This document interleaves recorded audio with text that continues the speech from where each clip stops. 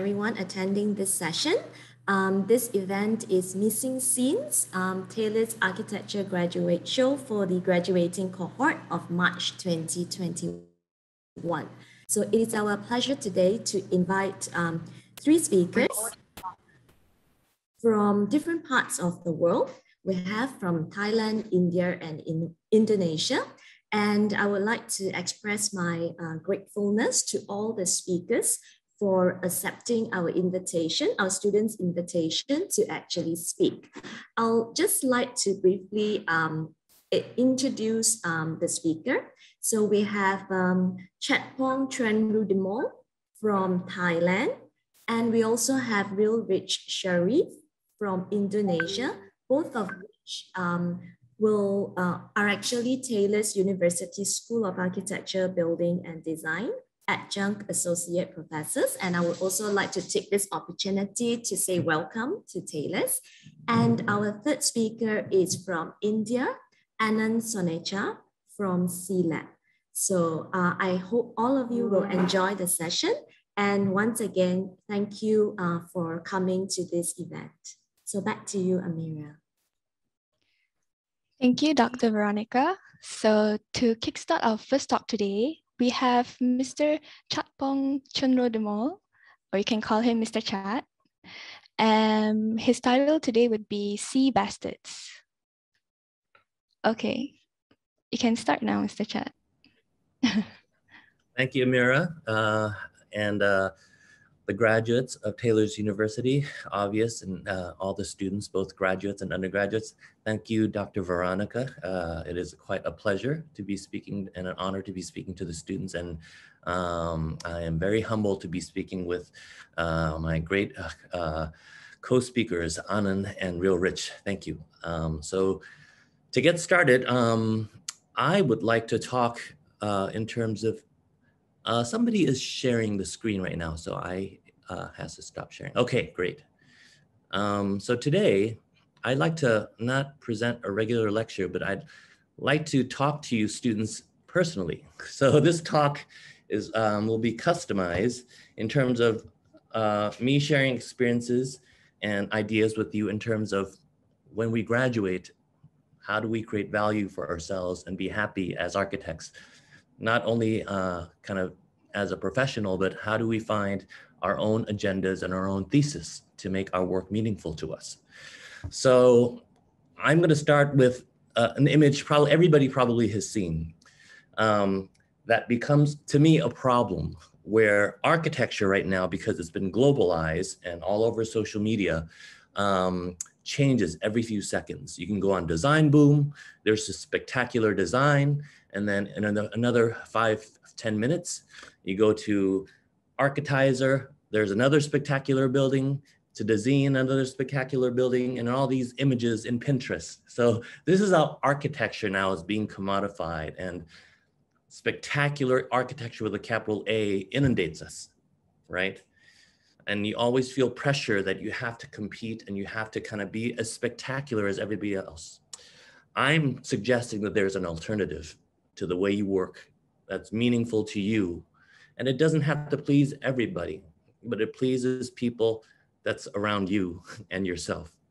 Um, I encountered this dilemma as well uh, when I first graduated about 22 years ago. Um, caught up in the rat race of trying to produce work that I thought would be meaningful and worthy of being on a cover of some magazine, right?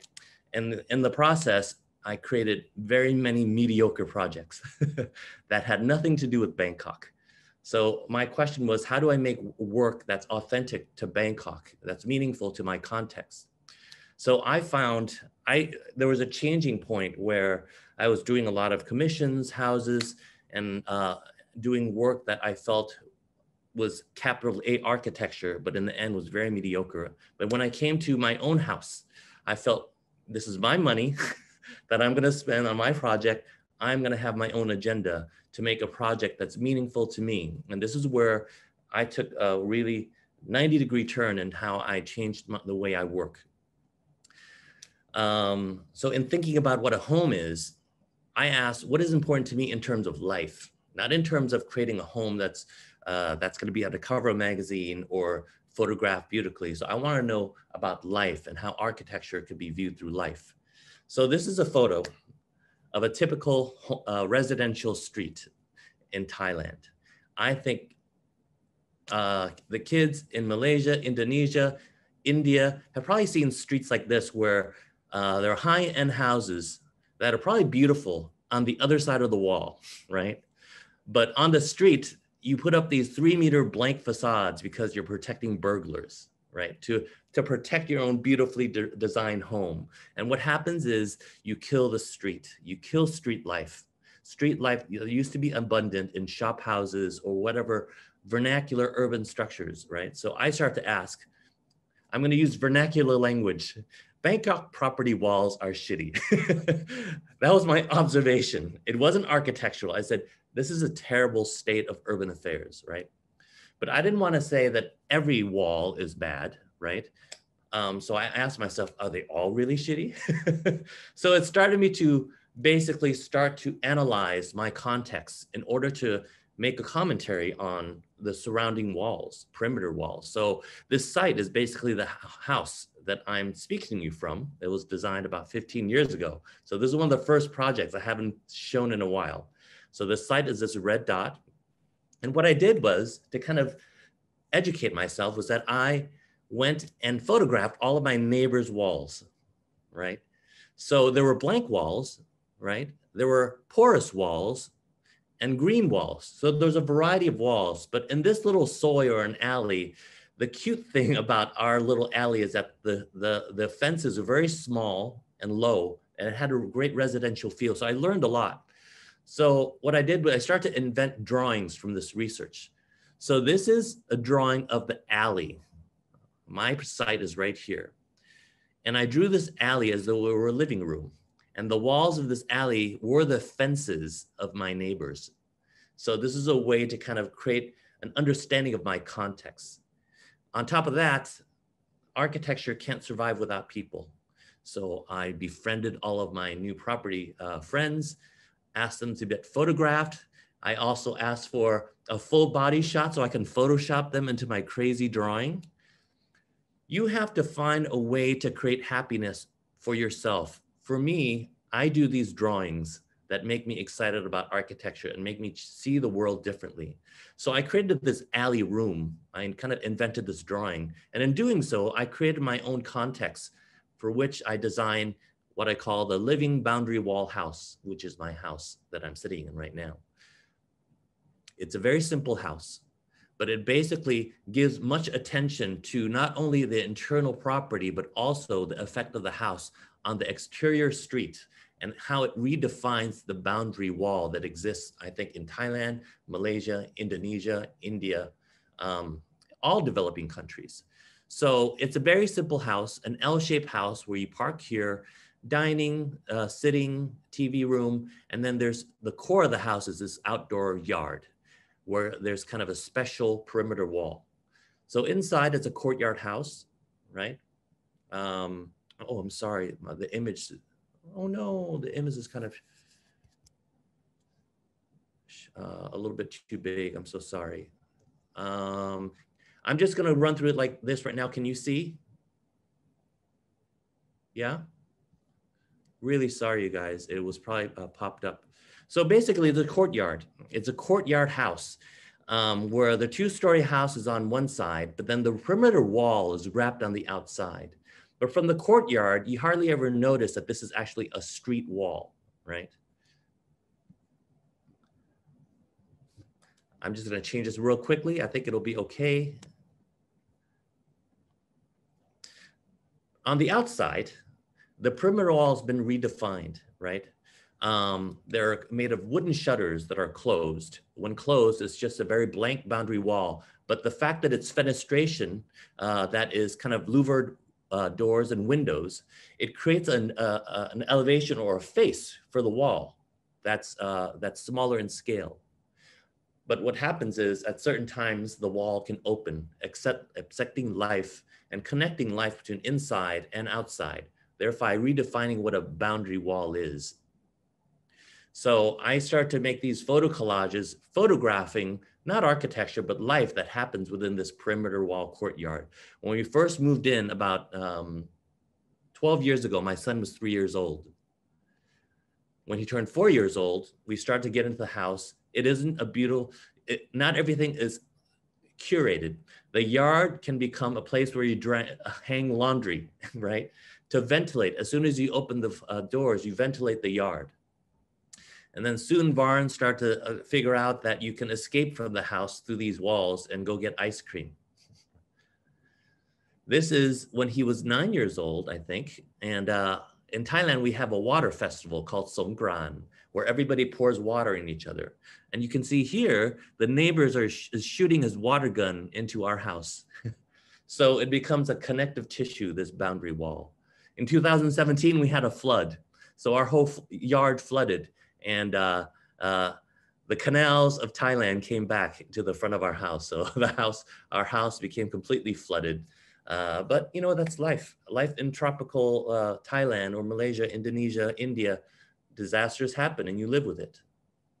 So that, that was the first time where I started to look outside of myself into the context and start to research banal, regular, mundane things like a perimeter wall.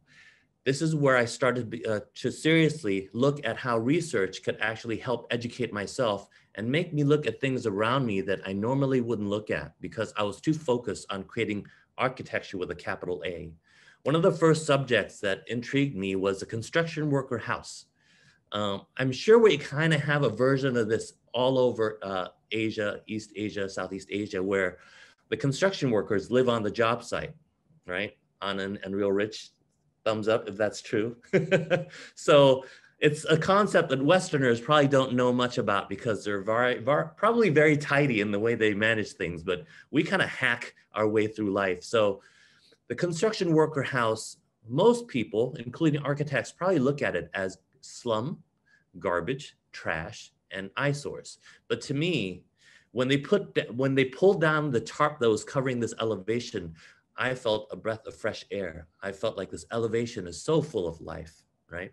But then in order to educate myself and not just be seduced by the romantic image of slum architecture, I started to go in and analyze construction worker houses. I start to understand that each one is composed of a core and usually wrapped by a scaffolding not it's not something unusual but something we overlook. This scaffolding is kind of a outdoor veranda kind of an intermediate space that gives you a break from the sun a break from the rain but also because these terribly hot and claustrophobic corrugated rooms are unlivable in the daytime the construction workers after work come out and hang out on the scaffolding right? Cooking eating washing laundry getting drunk socializing. This is another construction worker house on the other side of the house, uh, on the other side of the site. They're building a condominium, as you can see on the left. But this one has kind of um, hybridized the formula. So the scaffolding not only is a veranda, but it has a protective helmet, right? A, a protective second roof that protects um, the thin corrugated metal roof from falling debris. So it becomes a second roof. So they're now they're playing with this scheme, playing with the scaffolding, right? This one is a single, a, a double loaded corridor. So the scaffolding isn't wrapping the structure, but it's actually what I call satay and insert it in the middle, right? So even, but here, even the scaffolding works because it's kind of wind tunnel. Uh, construction workers still wash and cook and, and talk and socialize, right? Soon, when they have this formula, they start to create larger uh, abodes for larger construction worker camps where it's core scaffolding, core scaffolding, core. It becomes an informal housing system. With this system, they can start to play, right?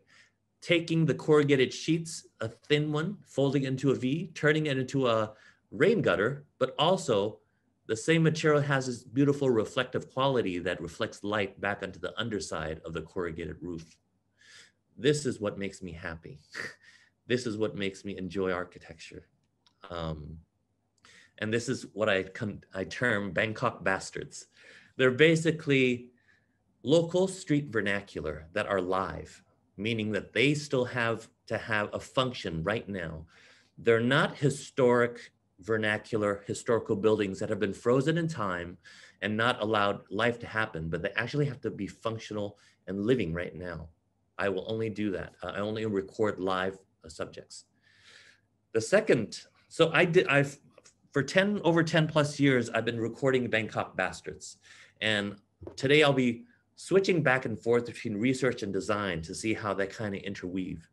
Another Bangkok bastard that I, I've spent at least eight years researching is called the Bank, the Curtain Sex Motel. I am sure we have a version of this in all of our Asian neighbor countries. so what happens here, this is our version of the love motel, right? Uh, it's an unspoken typology. So here, it's usually a hybridization of the American motel, motor hotel, that businessmen that you see in series like Mad Men would travel across the country, stay overnight in these uh, free say, freeway side hotels to go sell shower curtain rings or Tupperware. But uh, the Thai population has hacked this typology and turned it to an urban motor hotel. What usually happens is, the story goes, a stereotypical elderly gentleman probably well off, would come and visit the love motel with uh, a friend, usually not his wife. There's a tunnel uh, that usually leads into the inner sanctum. The gentleman or woman would be driving in a darkly tinted car with his friend and go through this tunnel. Sometimes the tunnel is quite scary and dark and deep. But what happens is they usually emerge into an open indoor courtyard where an attendant would usher uh, the car into one of these parking slots. Um, and once you go into your parking slot, there is a hotel, uh, a guest suite room at the at the end of your parking spot.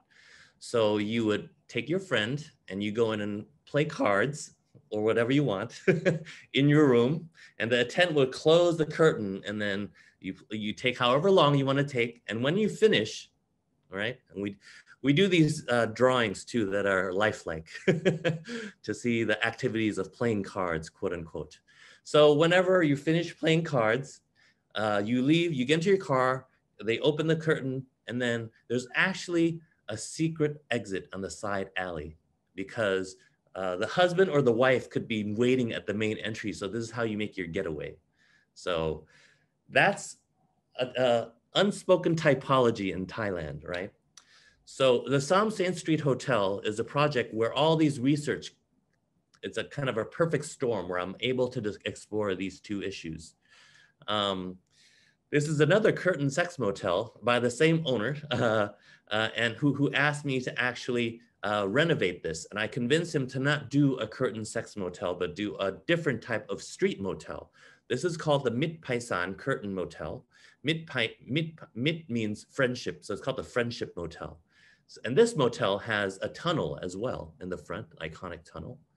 So you go through the tunnel and you merge into an internal court, similarly to the first case study. This one's a little bit narrow, so we kind of demolished the rooms on the right-hand side. The problem with all curtain sex motels are there, the rooms are incredibly small because pretty much all you do is play cards for 20 minutes and maybe or two hours. and so the owner said, I don't want to spend a lot of money, right? I also need to make money off of this. So what you need to do, chat, is you need to design a room that sleeps three people, not just two people, three people. That's how I'm going to create my extra income. So this is what I showed him. This is a very small, tight room, three and a half meters by three and a half meters, right? So this is our solution. They said, we're going to create these bed boxes that cantilever off the existing facade so we don't have to introduce any extra foundations. So these bed boxes become kind of a bay window for you can play on your iPhone, read, and actually look down into the street below, right? So, and then most importantly, it sleeps a third person for the extra income for the owner. If this were the original building, um, stripped of its uh, uh, kind of brise soleil facade, we would introduce these bed boxes at the minimal, uh, uh the minimal um, uh, dimension. one meter by two and 2.4 meters for one person to sleep comfortably. So what happens is there's a gap that's left uh, between all these extrusions. And the gap is filled by the scaffolding, the scaffolding that I talked about earlier. Um, and this special scaffolding, uh, what happens is, is this scaffolding will actually flip the hotel, a hotel that used to be dark, mysterious, introverted, uh, scary, into uh, a, a, a, street motel that is actually extroverted and stimulates street life. And the scaffolding is uh, divided into three components, kind of the porch, the alley, and the outdoor theater, each one having its own uh, role. Uh, the alley, a vertical alley on the facade, uh, serves a very mundane but very important purpose. Usually when uh, uh, developers contact me to do an apartment or condominium, they always say, please put in a balcony because it makes the elevation looks great. But as we know, living in KL or Ahmedabad or Thailand, Bangkok, nobody ever goes out on balconies in a city hotel, right? What happens is it becomes a space to put your air conditioning units or you hang your laundry or it becomes a space for mechanical systems, sanitary pipes, electrical conduit. What happens every time when your air conditioning uh, breaks down? The repairman has to walk through your room to get to the balcony, right? So this alleyway, a vertical alley, allows service repairmen to climb and access and serve service every single MEP component without having to go through the room. But then it'll have a secret function I'll show you in the end. So this is that the vertical alley that slices through the new facade. This is a new fire stair. This is a, a temporary stair that actually accesses you up to the, the alley on top. Uh, this was derived from another local bastard. You guys have this in, uh, from where you're from, I'm sure. It's a gas station. Usually a gas station has a very high canopy, right? Five meters high. You ever wonder how they change the light bulbs? It's with this stair. so every gas station in Bangkok has its own funky hybrid stair. You, they, the attendants use to change the light bulbs. We hacked or we bastardized this to create our own uh, triangular stair. So another important component of the scaffolding is the porch. So it's a basically a covered canopy that uh, creates uh, what was unusable space, six meters setback between the sidewalk and the building into space that actually will interconnect the guests of the hotel room to the city. We designed these mobile furniture uh, that allows us to kind of spread out and colonize the sidewalk and streets. That's kind of inspired by Thai street food right? The owner himself, before being an owner of um, the hotel, had his beginnings in selling Thai iced coffee from a street vendor cart. He built himself up. So therefore he had a sentimentality and affinity, a love for street food. So this is the neighbor next door, uh, kind of preparing his armada of Thai sausages to be served. So what happened is we redefined the business model the hotel guests can be sent down to have street food for their breakfast. It becomes a kind of a symbiotic relationship where the hotel can advertise itself as a street, an authentic street food hotel. And also helping with the cause. Four years ago, the Thai government decided to ban street food because it wanted to clean up the streets, creating street food courts, much similarly to Singapore and some parts in Malaysia. However, it doesn't work in Thailand. Uh, street food vendors need to live near where they sell. They're nomadic, they roam. They have to be able to get up, go to the place where they sell without having to hire a truck or a taxi to take them there. So the fact that uh, there are push carts that roam the street is a very integral part of street vendor life in Thailand. How do we keep that alive? So what happens is um, there are little pods or plug-in stations where the street food vendor can actually plug into the hotel property without being chased away by the police, right? We also talk about new bastard architectural elements that the Western world don't know about. Architecture for me isn't just walls, floors, and roofs. On the streetscapes in, in Bangkok, we have stools, tables, planters, even crisp blinking lights that create space informally. we all know what that space is, right? It's never spoken uh, truly in the Western world, but it's our own spatial uh, element. During the opening night of the hotel, uh, the food vendors can, are allowed to plug in and sell their food on the property. Remember what I told you about the vertical alley that services air condensers? On weekends and Friday nights, it turns into a vertical stage where the hotel allows street performances to activate street life on this formerly red light district. So here's a little clip from the opening night and a street concert.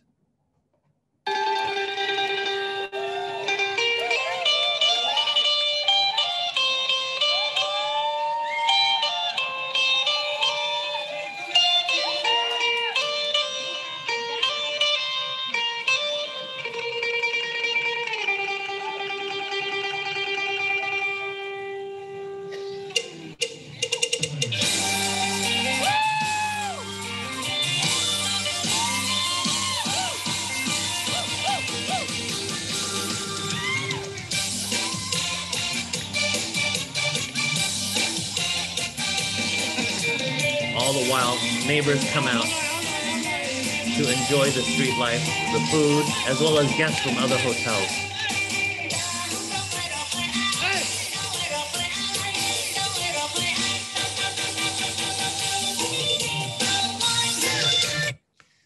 Just a little taste. I think we're, kind of short on time, so I'm going to uh, move forward.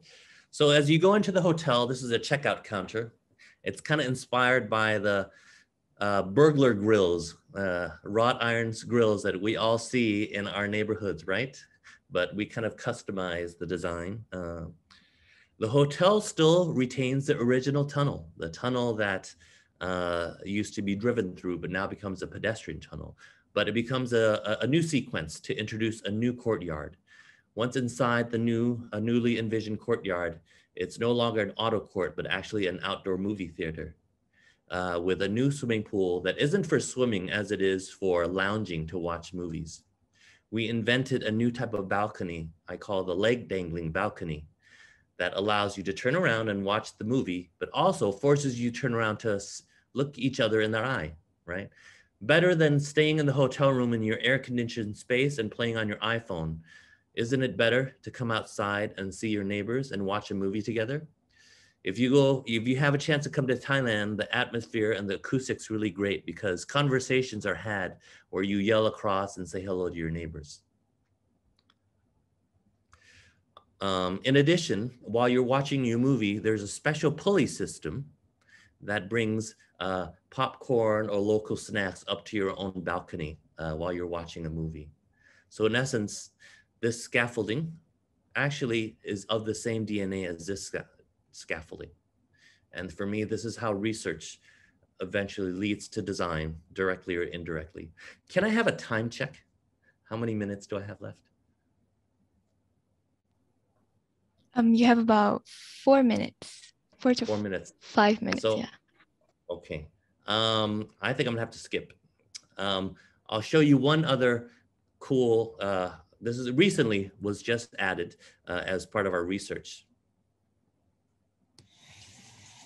It's seemingly like two long-tail boats, right? So what happens is, we call this the bridge boat uh, bastard.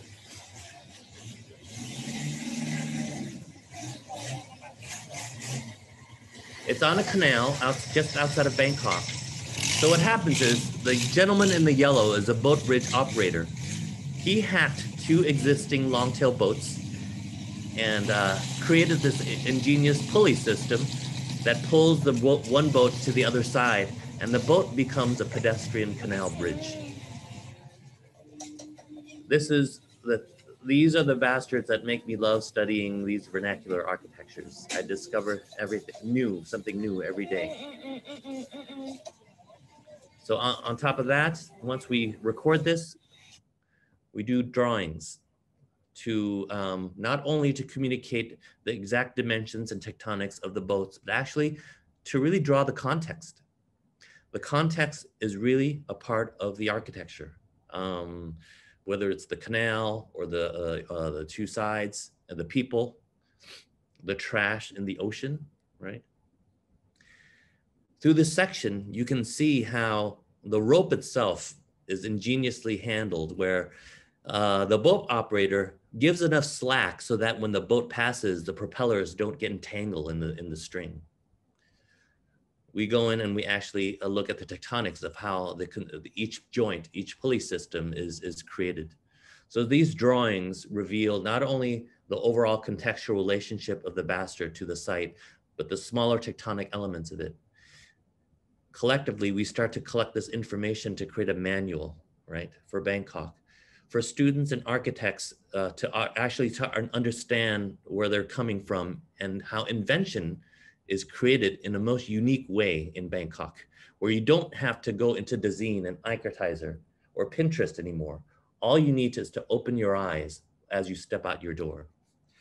So I'm gonna skip quickly to the last few slides because I know we're running out of time to show you that uh, Mr. Cat, you you yeah. you have sorry, it's not five minutes, but you have ten. So oh. yeah, mm. you don't have to. Minutes. Yeah.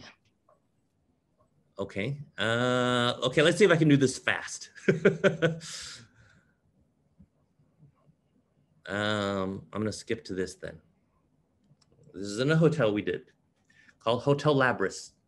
So this is outside of Bangkok it's a very non-urban uh, context. Um, so this context is in a national preserve, uh, beautiful mountains, almost cool, almost European Swiss-like. A lot of Bangkokians drive one hour and go spend time here. And perhaps because of the cool mountainous air, there's a lot of external Western invasion of English Manor Theme Hotel, Italian Hillside Hotel, even our own Leaning Tower of Pisa has invaded this. But to me, the owner asked, can I do something that is European in nature? I was caught in a very big dilemma because I always thought I only do modernism. Sorry, lady. But it opened my mind to see that, you know, everybody has a right to appreciate whatever language they want. Um, modernism isn't the only language. You have to learn to accept um, different types of languages, especially with the world opening up. The owner also asked to have a labyrinth inside, uh, reminiscent of uh, kind of gardens in the in in Europe or um, cloister gardens.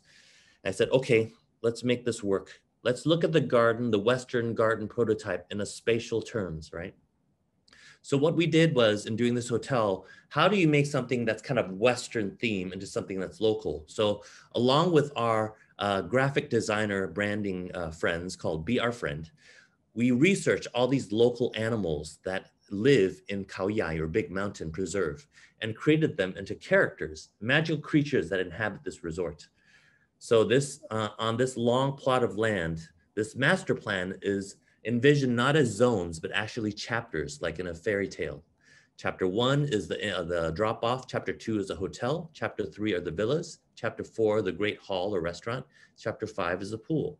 I'm just going to talk about chapter two, um, the kind of the core of this. So this is the actual aerial photograph where each chapter is a hybridization or a bastardization of the Western labyrinth or the maze.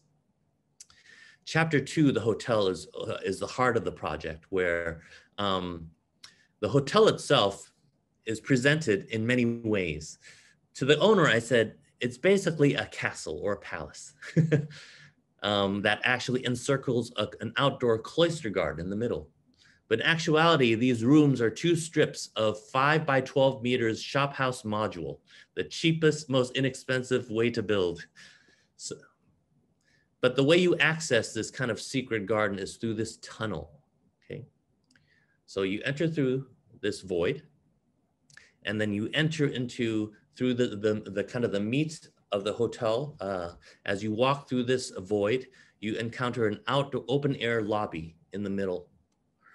In the lobby, you go up to the checkout counter where there are, I think there are 64 different drawers the, the person behind the counter will give you this magical guest pass there's a welcoming letter welcoming you to Hotel Labrys, a magical key, as well as a magical horn keychain. What you do is you take this key out into the garden where you find 48 different doors, one of which, none of which are the same. Once you pick your door, it leads you, and there are 48 different doors. And these doors, even though it's kind of a Western theme hybrid uh, uh, story, the doors are salvaged from Thai, old Thai houses and shop houses, but we bastardized them, um, making them more tropical doors. So you see this labyrinth 48 doors are in, around this wall, and each, each door leads you to a different labyrinth path. As you go through, you may see the end of your journey, or it may, it may force you to turn. You either enter a room at the bottom, or you encounter a stair that leads you to the second or third floor.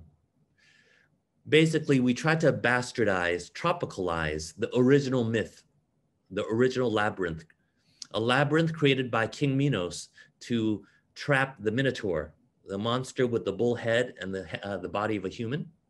But the original labyrinth had one entry and one exit. How do we bastardize it to make it appropriate for a tri-tropical mountain resort? Instead of one entry, you have 48 exits, oh, 48 entries, 48 entries that lead to 62 different rooms. On top of this being kind of a, an elongated path to the hotel room, you can see it as another way. Now we have 48 or 62 different rooms that have its own personal garden. Um, so in a way, we've tried to reinvent what a tropical resort is through the Western tool of the labyrinth. So as you can see, you can come out of your hotel room and have breakfast in your guard labyrinthine path. Remember what I told you about the scaffolding? uh, in the uh, construction worker house.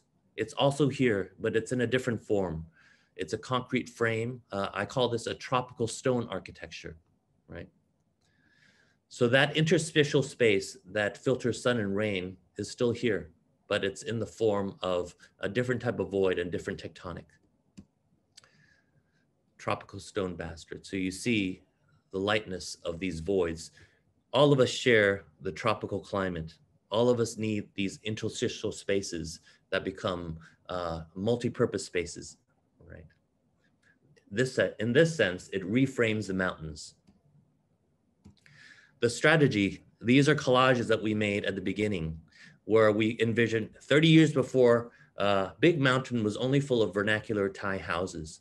Eventually, when the resorts, the Western resort invasion came, you have a hybrid of different languages. But this hybrid becomes a new bastard. Right. The twin to the hotel is the resident uh, is the hall in the back, the Great Hall, right? Um, the Great Hall in the back actually frames this Yang Na tree, a beautiful uh, hundred over hundred years old tree. So this roof actually frames this uh, uh, particular tree and the mountains in back. But even the iconography of this roof and the spatial qualities is multi-layered. As you go inside, you possibly see the profile of a Thai house. From other perspectives, it could look like the bottom of big ships. So with this kind of initial collage, we kind of beg the question, how can a high Thai house on stilts um, that accommodates four or five people in a family how can we hybridize this very small residential type to accommodate 200 to 300 people in a restaurant, right?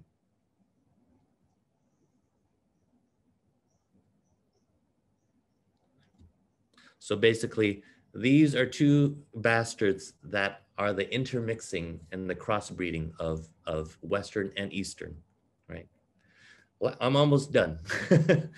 so lastly, how do I make this jump uh, into from Bangkok to Southeast Asia. How we how can we learn together and create some new bastards? So this a, a, a I would do lectures uh, throughout Southeast Asia. I love lecturing in different countries throughout this area. And this is one of the lectures I did about three years ago in Surabaya, uh, in Indonesia. Um, what I usually do, do, do before my lectures is I take a picture out of my hotel room. This was on the 15th floor. And I present this slide to the kids the next day. I say that there are bastards all around you, even in Surabaya. And the night before I gave this lecture, I always embark on a walking tour with the local uh, local architects. So here we went to um, uh, one of the Kampung Kejawan Lor, uh, perhaps Realrich may have seen this uh, in Surabaya. So it's basically kind of a fishing village.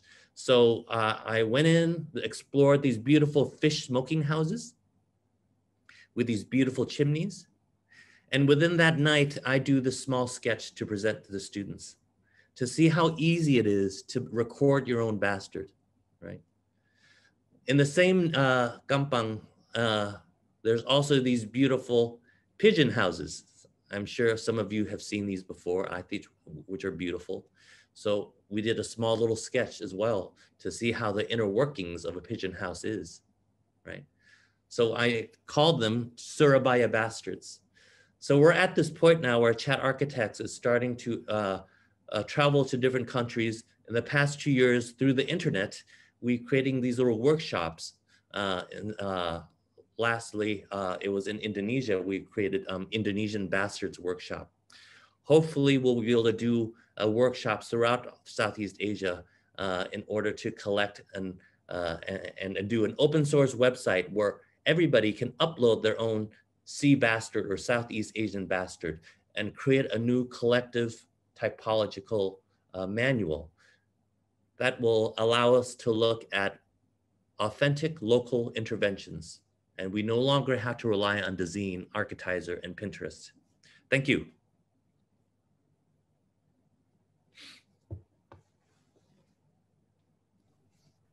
Thank you so much for the insight, Mr. Chat. Um, Okay, moving on. I think we have the audience has some questions, so we can take a look at it.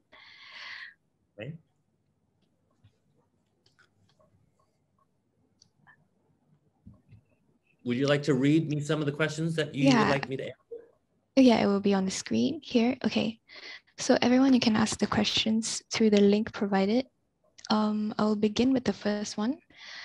Uh, what do you think is a significant embodiment of culture and what makes Bangkok different than the others? Um, I would like to say that there are a lot of similarities in Bangkok to KL, right? Mm. When I show these slides, I know you guys recognize the DNA, construction worker houses. So I don't think it's it's really about uniting us. I don't. Of course, all of us have our own variations of the construction worker house, our own variation of the curtain sex motel, our own variation of a hacked uh, canal boat bridge, perhaps. So if anything, it should empower us to say that Southeast Asia is actually more similar than we think. We are more united than we are divided. Um, and if we kind of band together, we can create collectively this really rich manual um, of, of, typologies um, that actually could be the foundation of a Southeast Asian architecture. But within that, there are variations, right? It's not a strict rule, but there are guidelines of strategies on how to create architecture that fulfills life. So I'd rather focus on the similarities. Yes. Mm. Thank you so much for that answer. Moving on to the next question. Where do you draw your inspiration from to be more contextually aware in architecture? Very simple answer. I walk out my door and I open my eyes and see things with new eyes. It's nothing more complicated than that. There's no high end theory behind it. That's, that's, that's just it. And if uh, for me to prove my point, every one of you, after this lecture, you go outside of your room if you're not in lockdown. you walk down your street, and I bet you, if you look at your context with new eyes, you will see something spectacular, inventive that you've never noticed before. Yeah. Whether it's a street vendor or it's a new way where locals have created a new type of bench, or the way your neighbors have arranged potted plants to create a cubby hole, or, a, you know, inventions all around in Southeast Asia. Yep. Yeah, I agree. And in India. Oh my God, in India. Yeah. so basically, you draw your inspiration from just simply looking around yes. you. Yes. Understood. Okay, sorry, I have to sort of read all the questions. Um, the next one would be, while celebrating openness and blurring the boundaries between interior or exterior, do you compromise personalization or security? Uh, no. If you go back to uh, the perimeter wall house, it's never about creating a 100% free boundary between inside and outside. That's very Western. I don't have a problem with kind of Corbusian connection between inside and outside, but we have to have a controlled boundary, right? Even the perimeter wall house has shutters that actually close at night, right? Um, so um, all of these boundaries are negotiated boundaries. They're never 100% free because we have thieves, prying eyes, stray dogs, and cats, right, guys? so yeah. it has to be controlled, right? nothing is ever pure, right? There's we, we don't live in a fantasy world where everybody's friendly and happy, right? Yeah.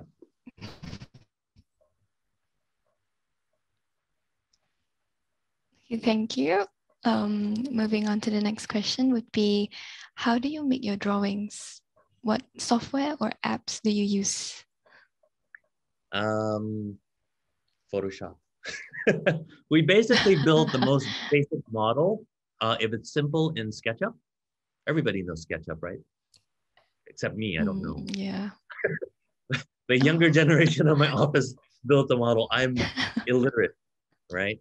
Um, and after we do that, sometimes if we map the texture into, into sometimes we map the texture, or sometimes 3D Max, and then we map the texture in.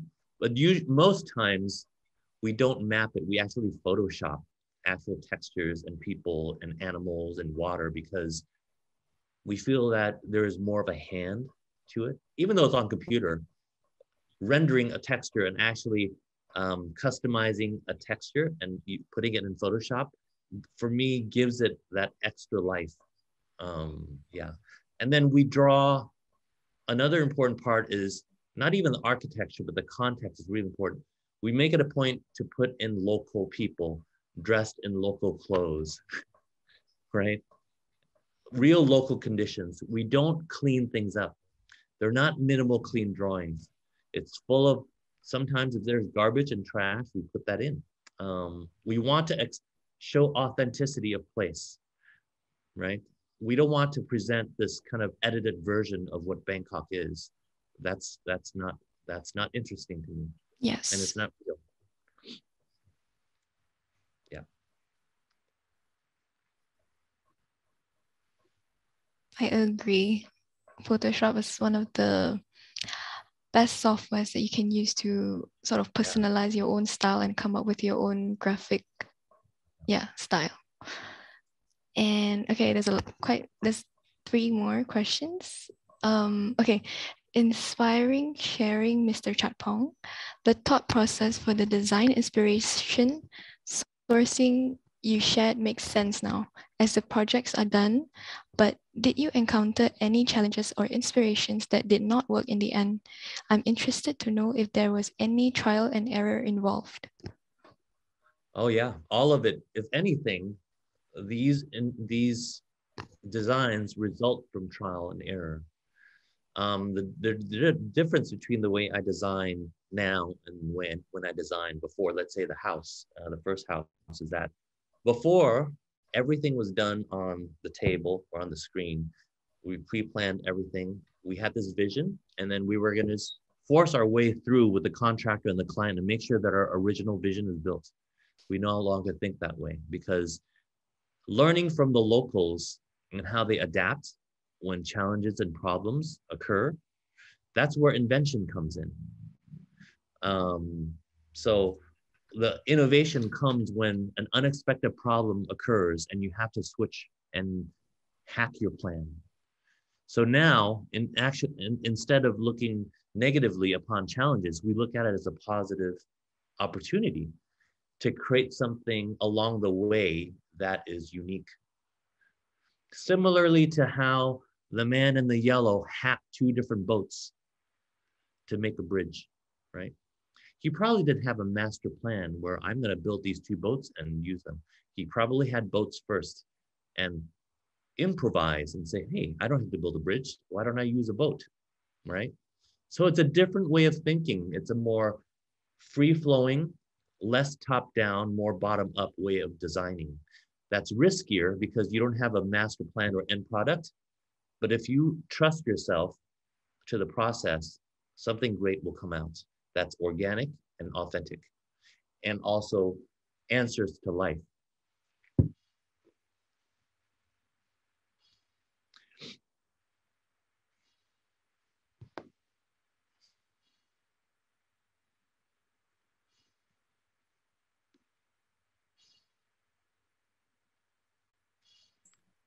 Uh, hi, sorry. I think the host has disconnected, so I will continue the um, Q&A session. So um, next question.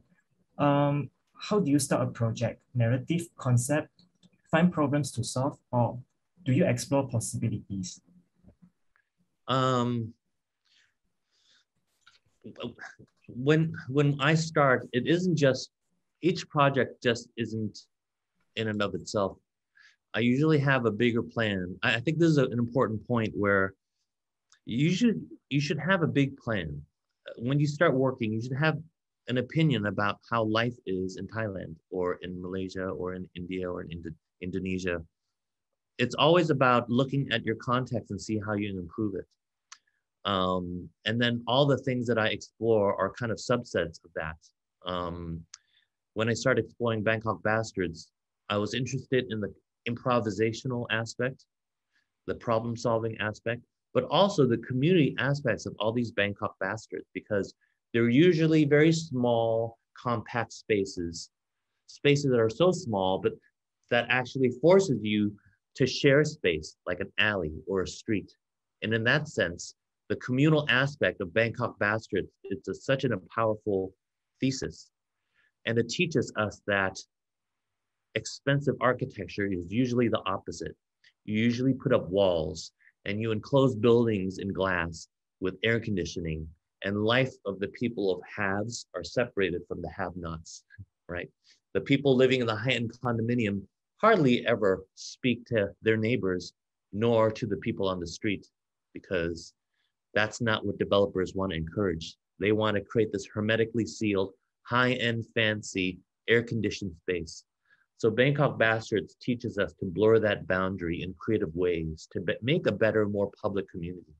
So uh, that's a thesis for me that kind of runs through all my project. And for for all of you graduating, I'm not saying you have to adopt this thesis, but you are, you should have an attitude of why you're practicing architecture that's beyond being famous, beyond being published, beyond being winning awards but how does it actually affect real life outside of building?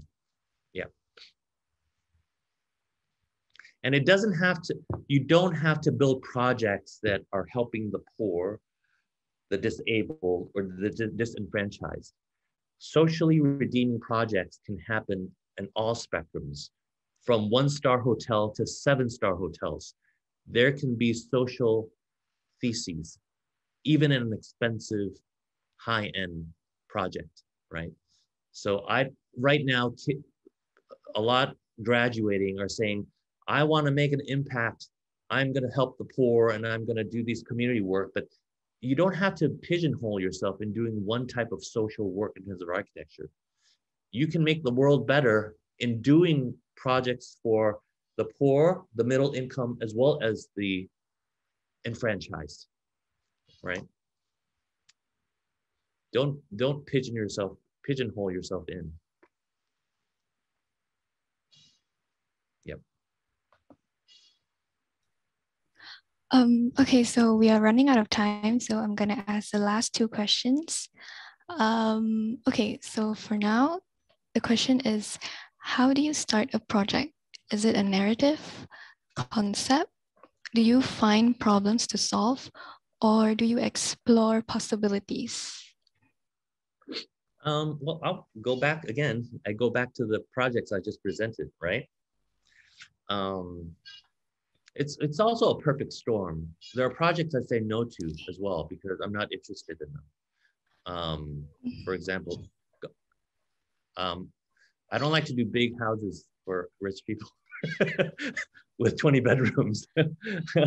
um, but it doesn't mean I won't I won't do them. But I'm attracted to projects that are linked to the uh, community, to the city, that have some impact in terms of the overall public um, realm. Um, so, and usually project, I, I, begin with looking at my research first uh, to see how they can be applied. But also some projects come up and there's interesting context all around, bas- new bastards all around the context.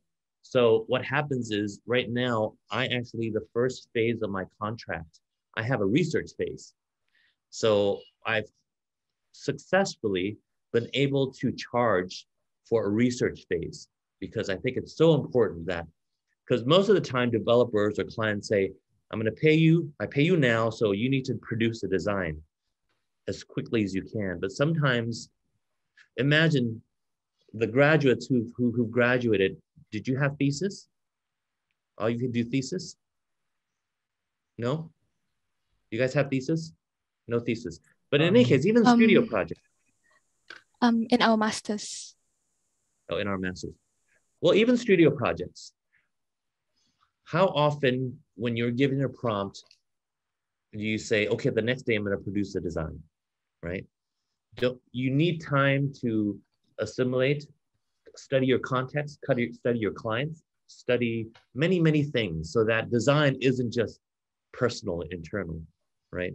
So starting each project, I usually need three months of research before I design anything. I ask for three months to do my bastard research. It's so important for us to fight for this fee um, and, and show and educate the clients how important this research is. And I mean, I do it not because I'm academic. I'm not an academic person, but I feel like, um, especially in Southeast Asia, where we don't document our subjects or our context, there's no quick notes that we can refer to to understand our context. We have to create it ourselves and analyze it ourselves before each project we begin. So that's that's how I begin. Thank you so so much for the answer. And so I think I believe that's the last question for Mr. Chat. You can still ask questions and we will answer the rest at the end. But as I'm informed, Mr. Chat, you have to leave momentarily for something? or out. will you, you enter?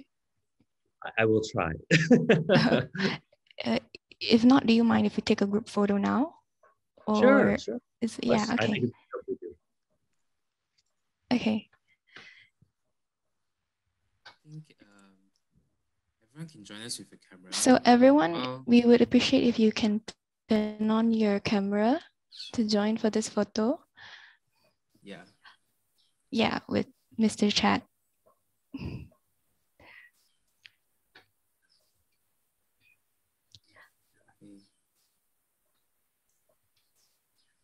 Okay, so is everyone ready? Yes. Okay. okay, so one, two, three. Okay, we take another one, last one. One, two, three. Okay. Thank you so Thank much, you. Mr. Chat. Okay. Um, if yeah, if you are if you are leaving now, it's it's okay. Yeah, we will proceed with the second speaker for today. Thank you so much, Mr. Chat again um, we will proceed to the second speaker today, which is Mr. Anand Sonecha from SEALAB. So yeah, let's give a round of applause to Mr. Anand to take the stage. So you, you can begin your presentation now.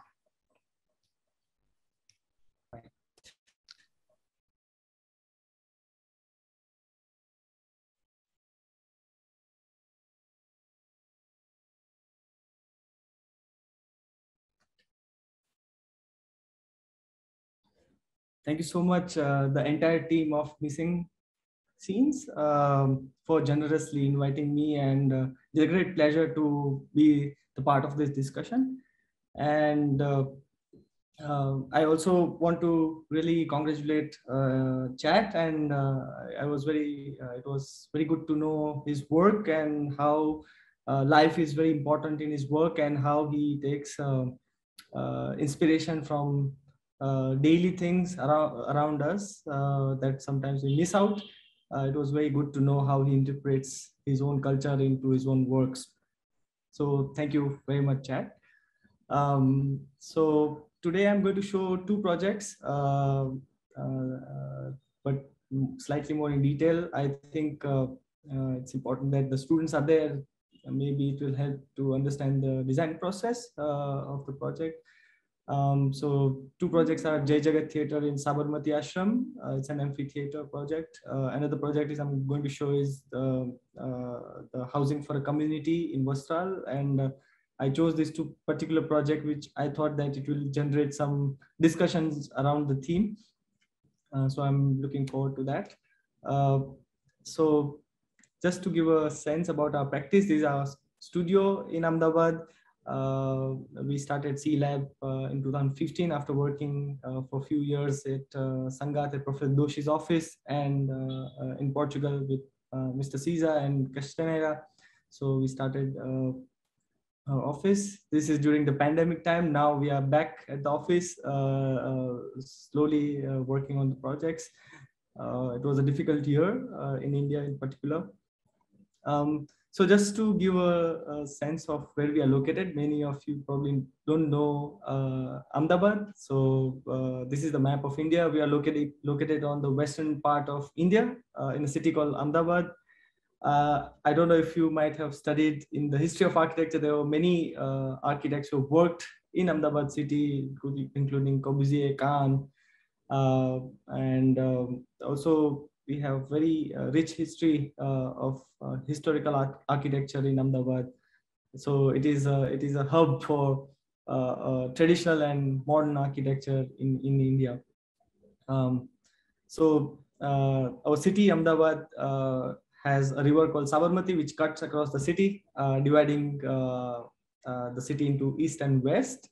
Uh, the eastern part, the old city is the World Heritage City. It was recently uh, commemorated and uh, we are located on the other side of the city and most of the projects are in and around Ahmedabad. Uh, so the two projects that I'm going to show today are, uh, are in Ahmedabad city. The first project I'm going to talk is Jai Jagat Theatre in Sabarmati Ashram. Uh, before I started uh, discussing about the project, I want to uh, sh share history about this place because this is very significant place for our country uh, and um, uh, it will give a context about the place uh, and where we were working. So I am sure that many of you know Mahatma Gandhi, a very important person for our country. And he came to Ahmedabad city in 1915 and uh, he lived in uh, Kochrab Ashram. Uh, in 1917, he established a community living on the river Sabarmati, the river that I was talking about that is dividing the city into two parts.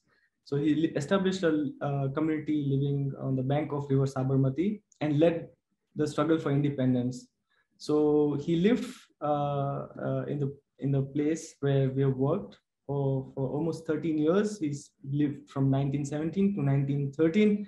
And uh, one of these uh, breaking salt law was a very significant event for the struggle for independence that he started from from the place that he was living um, in Ahmedabad. Um, also, like uh, this was his house, so this is where he used to live uh, during the 13 years. So it's a very humble structure, uh, very simple uh, uh, space. So it has a large veranda and, and a, a, room in the front, and there is a wall which divides the public and the private. So on the rear part, on the rear part is this courtyard. So it's a very domestic uh, scale and a very beautiful space uh, in which uh, the cooking area and, and the guest and his wife's room were there. And, and his room was this, and it was bare minimum. So this was, this was a photograph I've taken in the morning, seven o'clock. Uh, and, and it's, it's just uh, a, a simple floor, uh, which was local, uh, whitewashed walls, and then uh, the the way he used to sit is on the floor with very minimal things. So I think it was very inspiring for for us to see how he he lived with such minimal resources. Um, and then uh, because uh, we were commissioned the work uh, in this area and I was very interested on the history of this place because not much has been documented about how this place was before. So we started speculating uh, how uh, this place has evolved over time. So uh, I was really interested in knowing uh, its overall growth of the place. So uh, the speculative drawings uh, by talking to people, talking, trying to read some historical text that we were trying to uncover that how this place was before. we started realizing that this was a barren piece of land, uh, uh, and then uh, and Gandhiji, Mahatma Gandhi, he he chose this piece of land between the crematorium and Sabarmati jail, um, and then there's some very interesting stories that we found out on the way that uh, he chose he chose this piece of land because as a, as a satyagrahi as a, as a as a person who is doing the struggle for independence either uh, uh, he will go to jail or either he will die so it's better to be in between. So these are all some stories that we found out uh, by by studying this place. And then it was very uh, organic this this um, there were these fields and this this uh, the edge of the river sabarmati was not like form formalized. It was very it, it was like a, a, a very uh, nice uh, place. I'll show you in the next slides that how it has transformed so this was the kind of uh, characteristic in 1918 when when when he was starting to live here and he was living in one of these courtyard uh, houses. And then as the struggle for independence grew, uh, also many people around the country started coming here and, and, and many small structures, you know, started to form. So, so uh, then Gandhiji, uh, the house that I sh showed you in the previous slides was this one that he built that, that became like a uh, living space for him. Uh, this structure is called Nandini, where uh, uh, it was like a guest house where other leaders from the country, when he used to visit Gandhiji, used to live here. Uh, this became like a uh, Udyog Mandir where uh, they used to do spin mill, the charkha. So they used to make their own cotton and the cloth. all the young freedom fighters, they, they lived in this very interesting dome as a very beautiful structure. So it was like uh, a big courtyard and then, then the living around. And then there was a community kitchen where food for the entire ashram used to get cooked here in, in one place.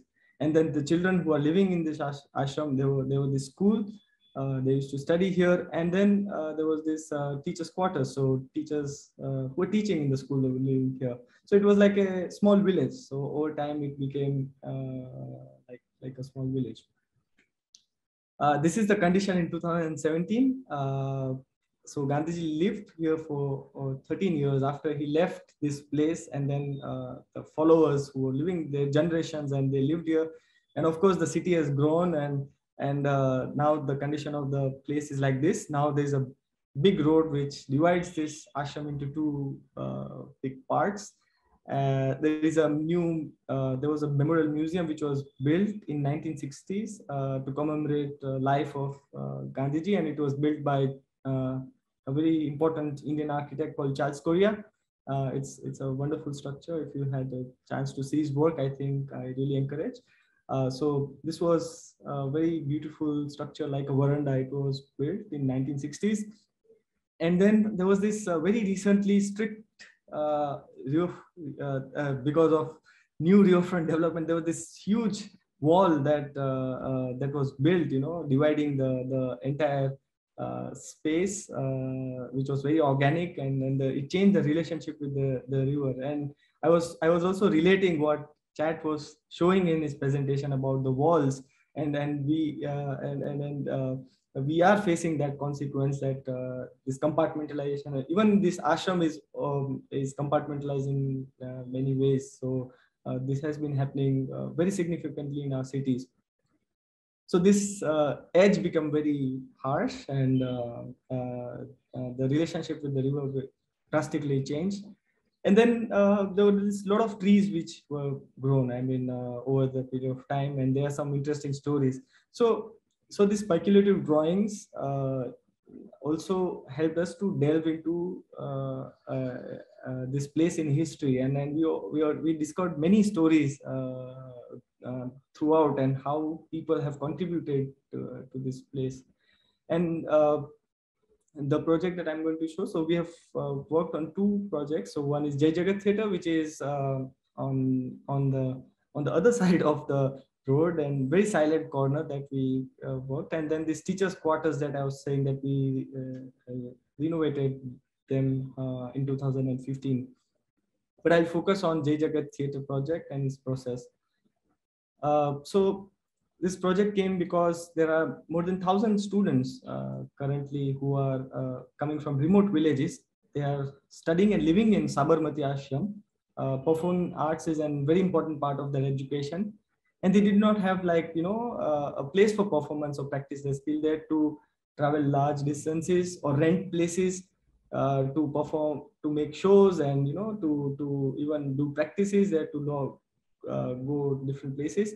So so this project came into being because uh, because of this intention and also uh, in 2017 uh, ashram was celebrating 100 years of of of, uh, of the existence so uh, it was an an event in which people thought of the ashram that it should be like a gift for to the children of ashram and neighboring communities this amphitheater so it is it should be a place of expression and togetherness.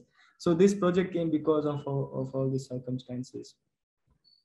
Just to again orient you uh, uh, so this here is the river sabarmati uh, the the house uh, the Hriday Kunj where mahatma gandhi lived. The initial photographs that i showed. This memorial museum by charles correa and uh, number 16 is a place where we have built our uh, the, the, amphitheater, and this 15 is the volunteer house that we renovated. So uh, when we were invited to work on this project, we were said that this is the parcel of land that you to work, uh, and you can choose uh, where you would like to locate the amphitheater built. So so it is a very interesting uh, context. So here, number two is this uh, school, uh, as I was saying that it is a very old school and still is functioning. It's a very beautiful structure. Uh, there's this uh, number five is Madame Montessori School. Uh, in 1940s, there are stories that Madame Montessori came here and she inaugurated this place. Um, there are no written documents to it, but then there is a lot of uh, you know uh, uh, oral stories that record that has been there. And and and I, I was reading that Mahatma Gandhi went to uh, London in 1931 for a roundtable conference, and that's where he met Madame Montessori, and he was very inspired by her uh, way of uh, education, and and he invited her here, you know, to to do something about the education and the school. So I, I, I could relate the story and I think that there is a, a very interesting uh, historical uh, part of it. Uh, then there is a small uh, uh, library here where the books are there. The teachers training college is number seven. So this was like a very uh, interesting context. And then there are a lot of tall trees. So these dots are like tall trees, neem trees, which are 80, 90 years old.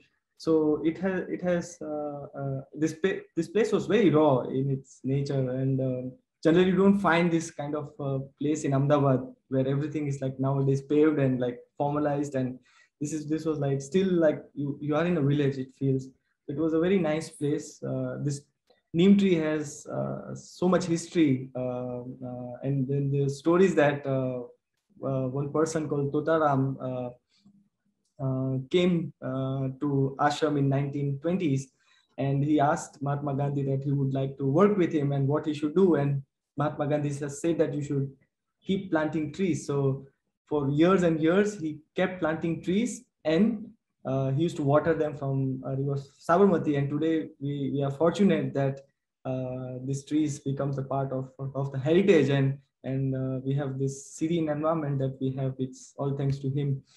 Uh, so this was a kind of an environment. And when I went there, I felt that uh, whatever we do has has to be very subtle because I think I architecture is an act of destruction anyways. And how do I uh, how do we do uh, something that uh, does not interfere in this natural characteristic?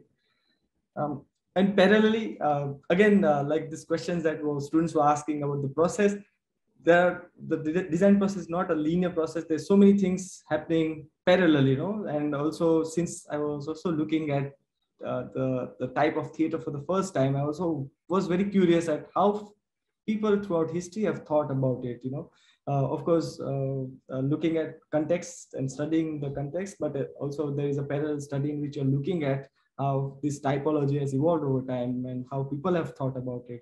So just to like very briefly put what my studies were that uh, I, I, felt that uh, greeks were very careful about locating their theaters. There was always a collaboration between nature and and human so they they they, they were very strategic in, in locating so this is a theater of dionysus in southern uh, part of the acropolis uh, in greece and uh, and and i'm just putting it very simply i mean there's a lot of other studies we have done but I think that this was the essence that we have understood that uh, they were very, very careful about the place and how do they locate the theaters. Um, Romans were were slightly different. Of course, they, they were also, uh, in many places, they've inspired from Greek theaters, but they also had a very different ways of looking at the theaters. So they created their own landscape through the arches. So they, they created this landscape through those arches and they built the theaters as if they are an object in a plane uh, they they use this plain terrain and they recreated the landscape and created the theaters in their own ways.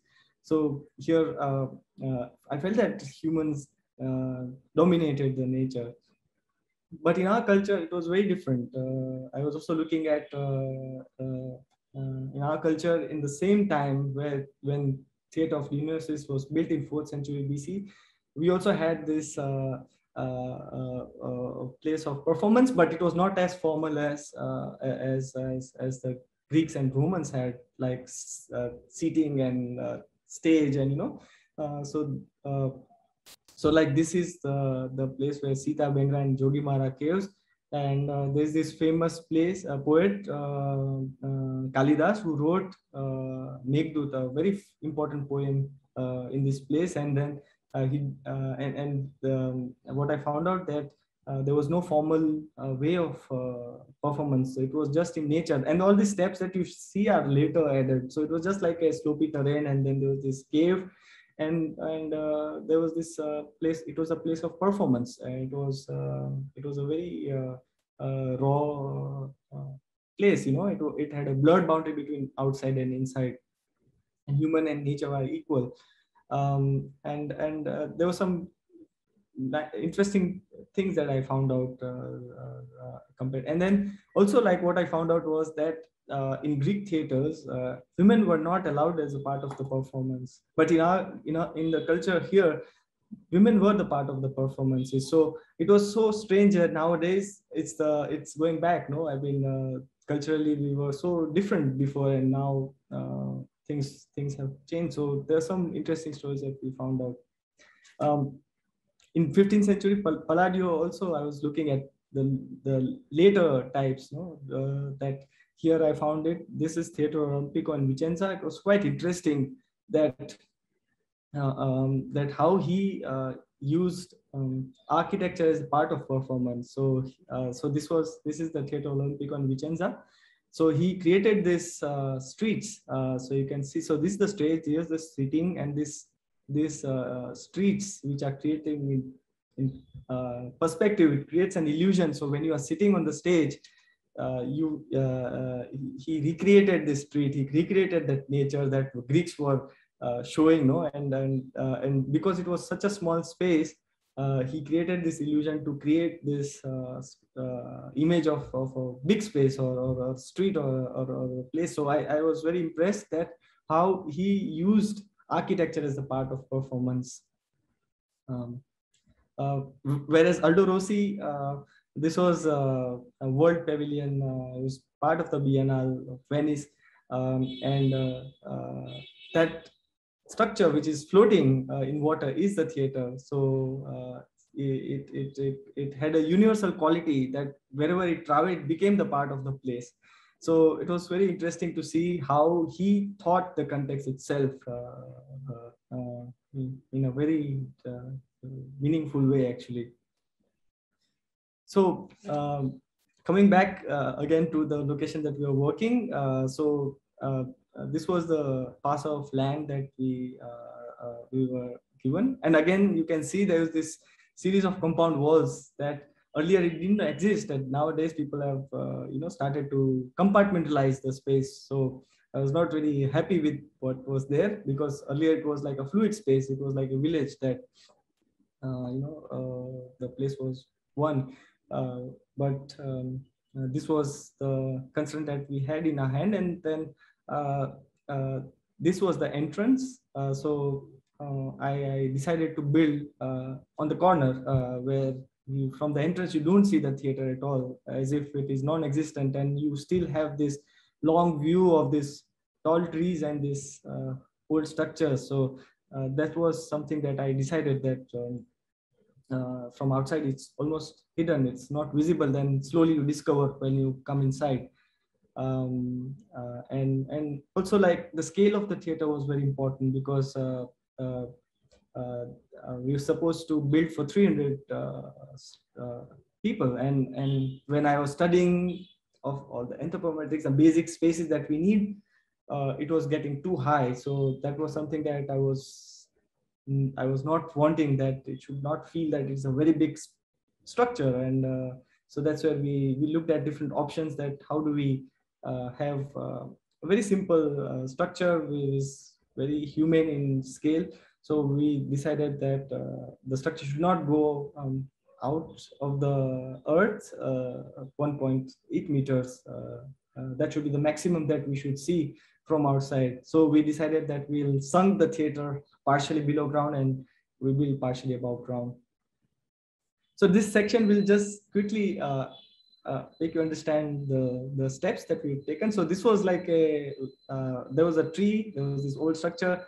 We decided to dig 1.8 meters below ground.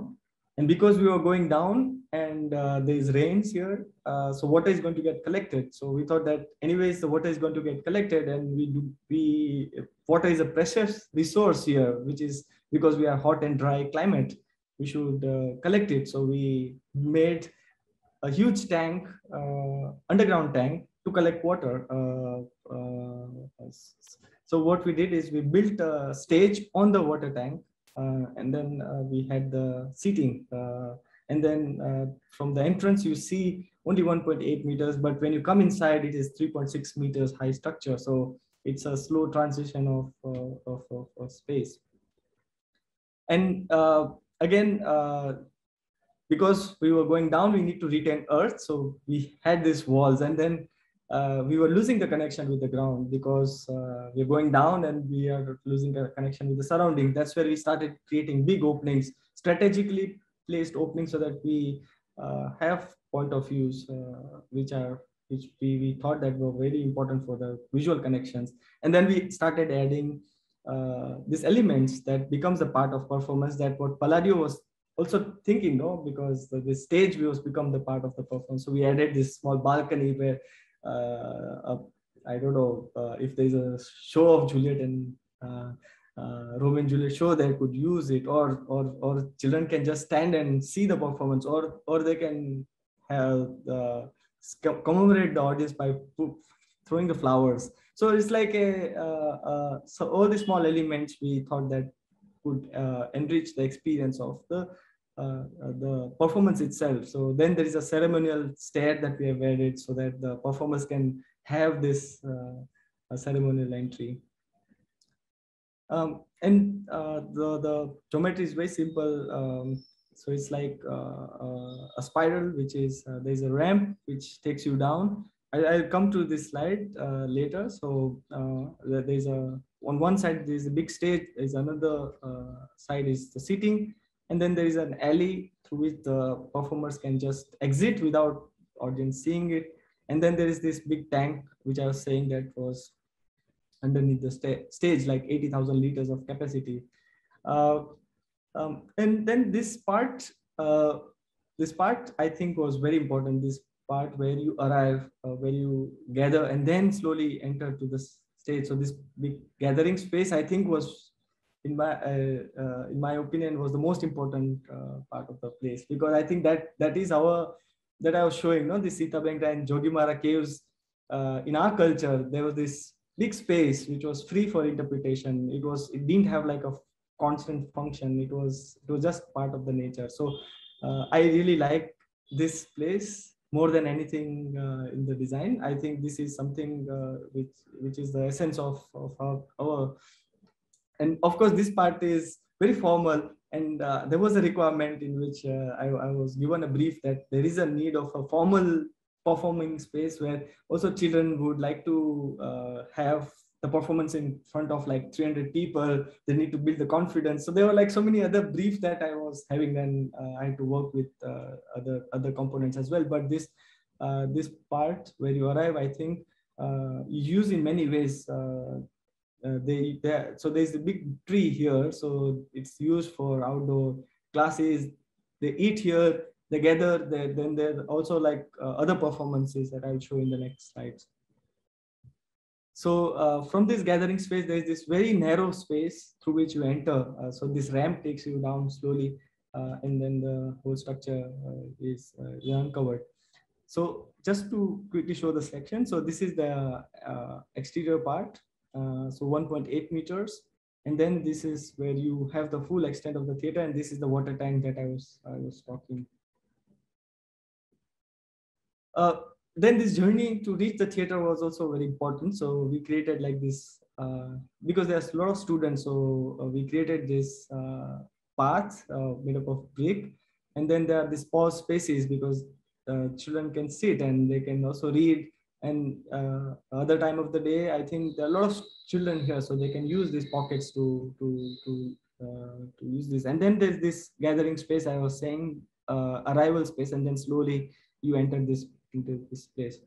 And this is the photograph after this pathway was built. So it's seamless. Uh, uh, we chose brick as a material and then it's only 2.5 centimeters we kept above the ground. So it is it is almost flushed uh, with the surroundings. So the pathway is somewhere here uh, that you can see.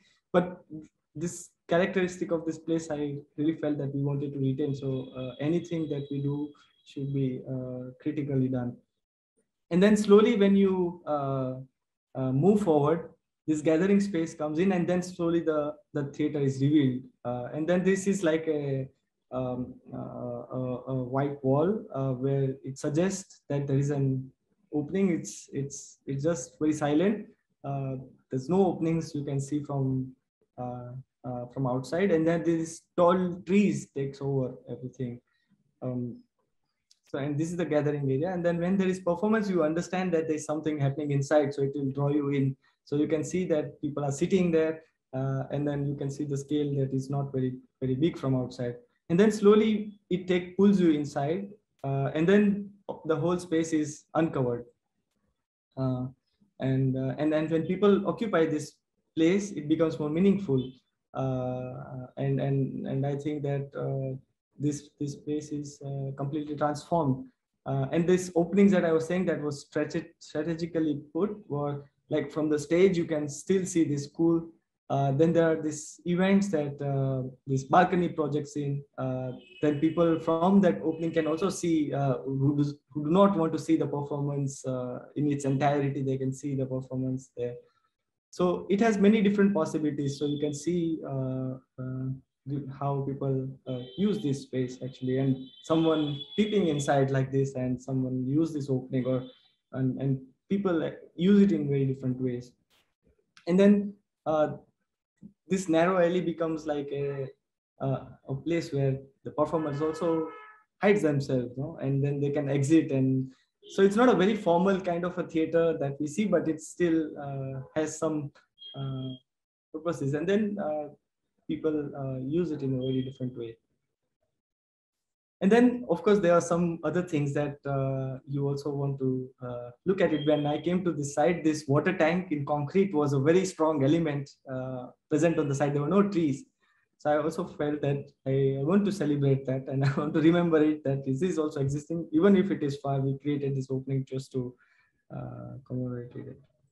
And also, of course, uh, when you're working, it's not something uh, as, as as Chat also was saying that you see so many things daily and and you uh, you you it stays in your subconscious mind. And when you draw I think uh, consciously or unconsciously it comes you know? So I think this uh, so this is like a staircase in Fatehpur Sikri. It's it's a beautiful complex uh, in in near Delhi. Uh, uh, you should have you should look if you get a chance. uh, it's a beautiful complex. Um, uh, it was abandoned uh, because of the scarcity of what is very interesting history. And I, when I went there, I was very impressed with this staircase and, and how it, uh, it brings in from one level to another. And this crown and the scale of door and and you know, uh, so I was very inspired. And and when I was drawing this uh, Jai Jagat Theatre, when I was thinking about how uh, a ceremonial staircase where children will also come in, uh, so I was I, I was I was also thinking about Fatehpur Sikri stay, but I, I, felt that I want to interpret it my own way. Uh, then uh, uh, this staircase was built in stone. Uh, it needed this support of tread and riser. The material here, I was using it differently, the concrete, so I could get rid of this uh, in-between element. So then it became something else. And then this uh, crown that also celebrates at opening. So, so of course, um, and Alvaro also says that when you work, you are also working with uh, uh, uh, so many things that you have registered over time and and, and, and history.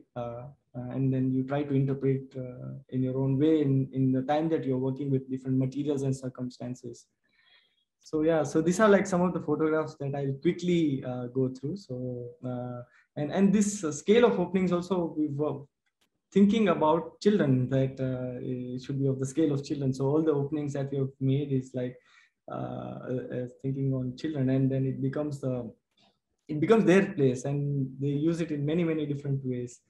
So uh, uh, and we're fortunate that Alvaro Siza wrote about this uh, amphitheater. If anybody has chance to see, please we can read about it. I'm going to quickly show a second project, uh, uh, a housing project um, that we have been working on since the last three years. Um, uh, um, so there are like uh, 65 uh, billion people in India live in in, in adequate uh, shelters, so they are called slums, and it makes 17% of the world population who lives in such conditions. And just to put in perspective, it is the entire population of Britain actually. So um, affordable housing is a serious challenge in India. And in 1960s and 70s, uh, Professor Doshi and Charles Correa and many other architects have worked on this issue fundamentally and uh, and then showed showcase uh, that how uh, we can also look at uh, uh, at the communities here.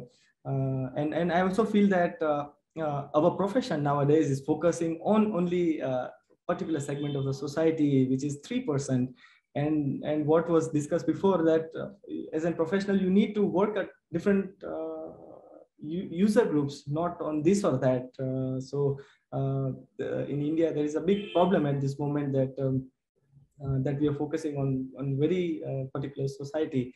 And many people who the rest 80% 90% do not have any access to architectural services. Neither they can afford or neither they have any clue about that that there is a profession like this that also can work. So I think uh, this was a great learning experience for us working on this project. So uh, in 2018, an NGO uh, uh, and an university called De Montfort University approached us to uh, design housing for a community who were affected with leprosy disease and it flooded in monsoons. And leprosy disease, as we know that it has affected people from ancient times. Even this Greek physician wrote about it, and even in our treaties, uh, our Indian treaties that uh, uh Sushruta, he also wrote about this disease in 400 and 600 BC.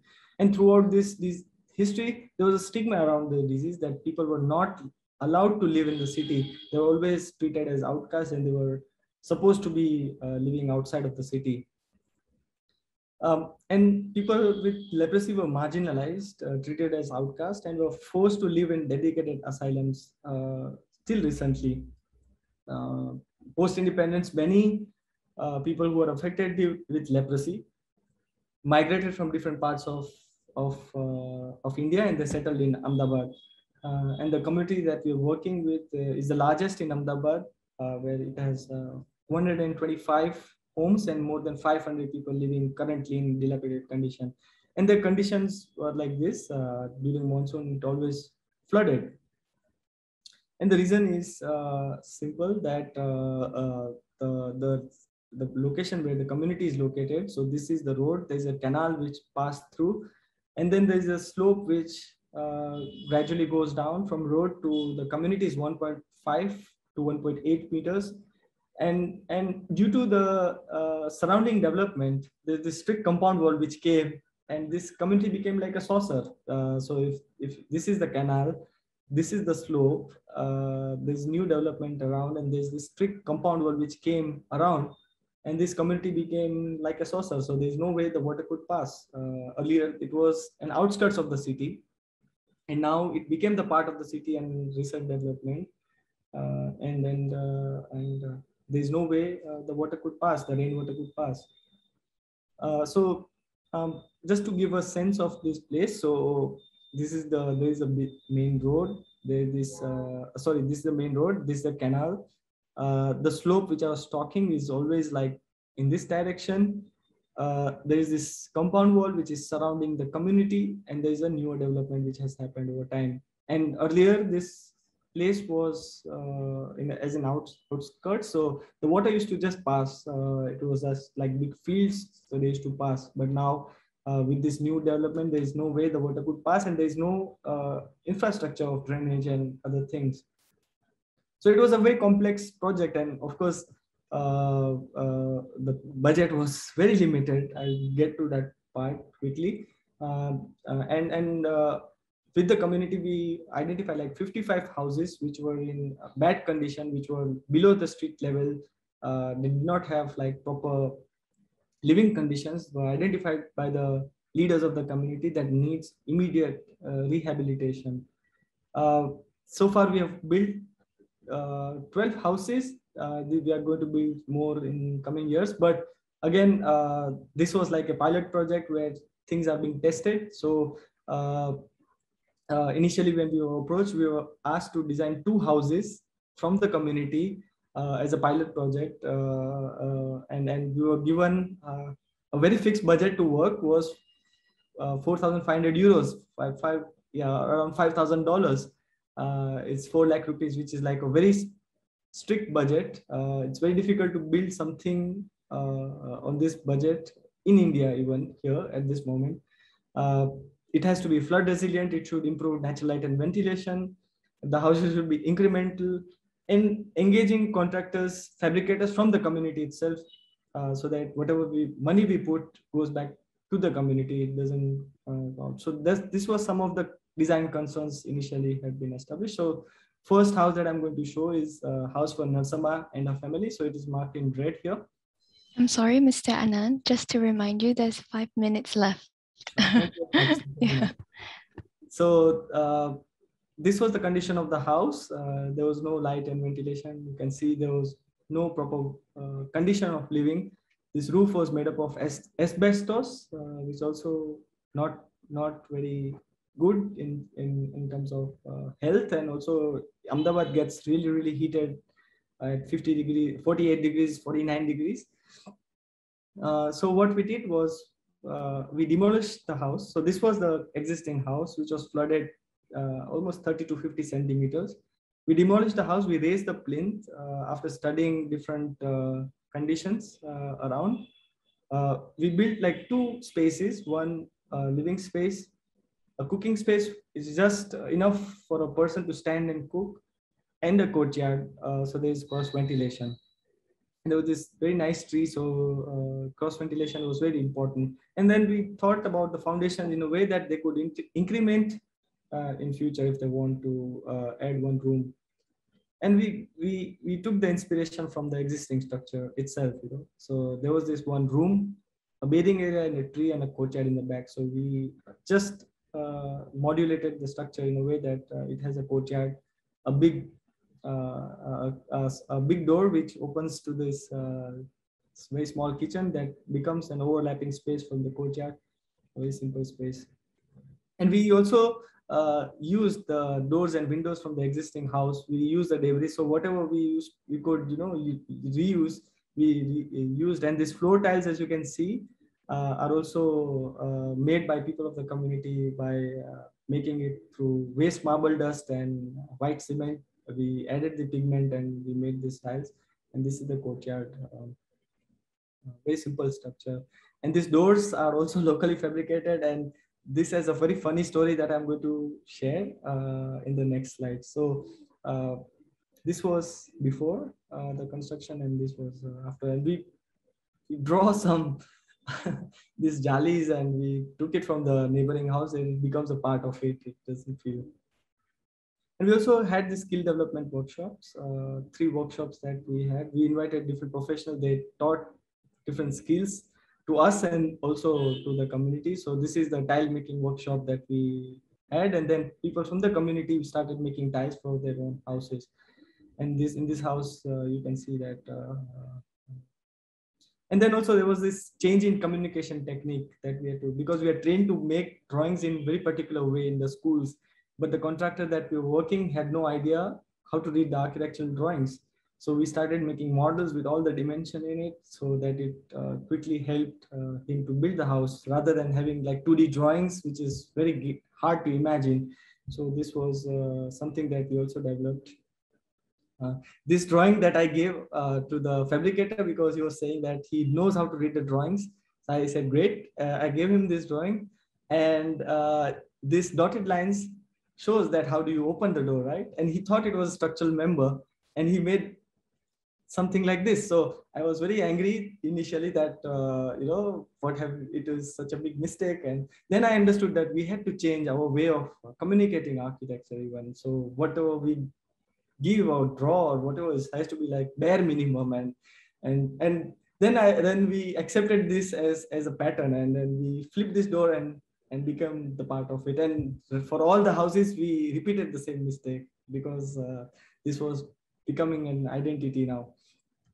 So as you can see, other doors also we use the same thing. Uh, but yeah, I mean, uh, we also changed the communication techniques for uh, communicating with the users also. Initially, they were not uh, able to conceive architectural drawings. So we started photographing their belongings, started putting inside of the models and communicating. So this was uh, something I think I'm running out of time, so I'll not uh, go into the details of the other houses, but I'll just flip the slide so you can have a quick look. So this was another house for Aruna. So you can see that she's walking on the street and the house is below street level. And there were like six members living in four, mem four meters by six meters of the house. So we, uh, we thought uh, of a house of two story, but in a way that it does not become very overpowering to the street that we off, off, offsetted from the street and uh, it, becomes of part of the street. And then we added this ferrocement roof and a loft where children can sleep uh, also. And then people can do it in very different ways, like steel roof, or concrete roof, or anyway. So it's a very basic house, a, a small cooking area where they use for cooking in the morning, use it in the night for sleeping, and uh, and uh, and it opens up to this big uh, open space that it it extends the whole house. So you can see that this is this is the house now. This door opens up completely and it becomes a part of this open space. This is the loft that I was talking, um, and these tiles and other things that uh, people from the community made. This is the ferro cement staircase also, which was made. To be honest, uh, uh, people from the house did not like these big doors because they thought that is it is invading and uh, and and and while doing this project i we also get criticism. Some things they don't like it and some things they like it but i think it's a great learning process and there is a lot of discussion and negotiation because natural light and ventilation is important. That that's what we do not compromise even if they need more space.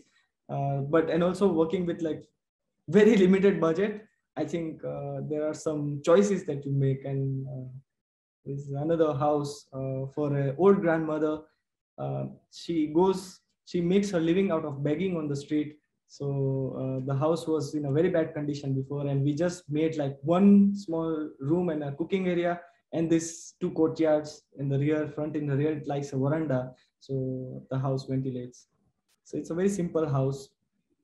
Uh, again, so yeah so these are like some of the uh, uh, different iterations we made in the in the in the in the community and we are still working on it. And each house is unique and we are learning from each house and we are improving uh, step by step. Uh, so it's not like a one prototype that we made and just repeated.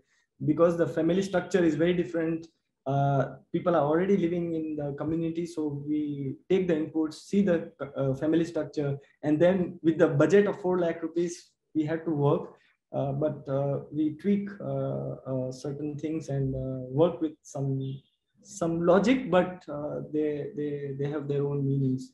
So thank you so much for patiently listening this, and I'm sorry that I took more time than I was. Um, thank you, thank you very much. That was a very inspiration sharing session, Mr. Anand. Thank you so much. Um, I have one question at the top of my head right now. You mentioned about criticism, and I feel like how do you, as an architect, deal with criticism? Do you um, convince your client to uh, to sort of like it, or do you continue to amend it to their liking? Thank you for this question. I think criticism is positive. No, I think uh, it means that we need to improve on certain things like uh, uh, when we built these two prototype houses, uh, people from the community did not say anything uh, when I was showing them the design, uh, initial design uh, sketches and models and drawings. They were they were feeling that they were they were obliged that they are getting the house and they should not speak up. And and I I felt that it should have been the opposite. and I did not understand this dynamics. And then only after the houses were built, I was also observing how the, it is being occupied. So storage was not working, other things were not working. So many things I found that it is not working in the way I've conceived. And then uh, we started uh, changing the way of communication and we slowly had these long meetings in the community and, and talking about that uh, we have to speak up uh, only mm. then we can uh, change. And then people's and also it is about building relationship you know because i was also new in the community at that time and slowly by working and going very regularly i, I made the relationship so that they could talk freely. And then after a point they they also started criticizing the work which i really admire uh, because i think that's the starting point to also improve. So some things I changed, some things I debated with them. Like, for example, they were saying that uh, these courtyards are useless spaces uh, and they do not want courtyards. That's where I had to have long discussions with them that they are necessary for natural light and ventilation. And we will not compromise on that, you know, even mm. if we hmm. need more spaces. Uh, or, for example, storage spaces, we changed uh, some things. Or even uh, after a point, we also started changing the typology that some, uh, we started looking at houses uh, and bringing light from the top. So uh, some things uh, I think that we took at took as a criticism and and and evolved and improved.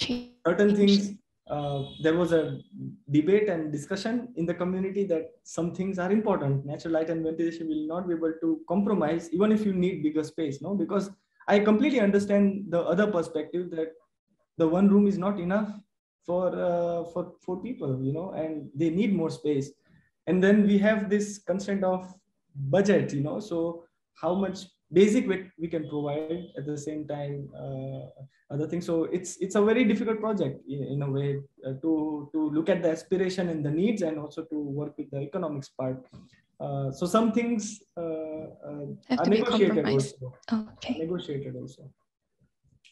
Thank you so much for your answer.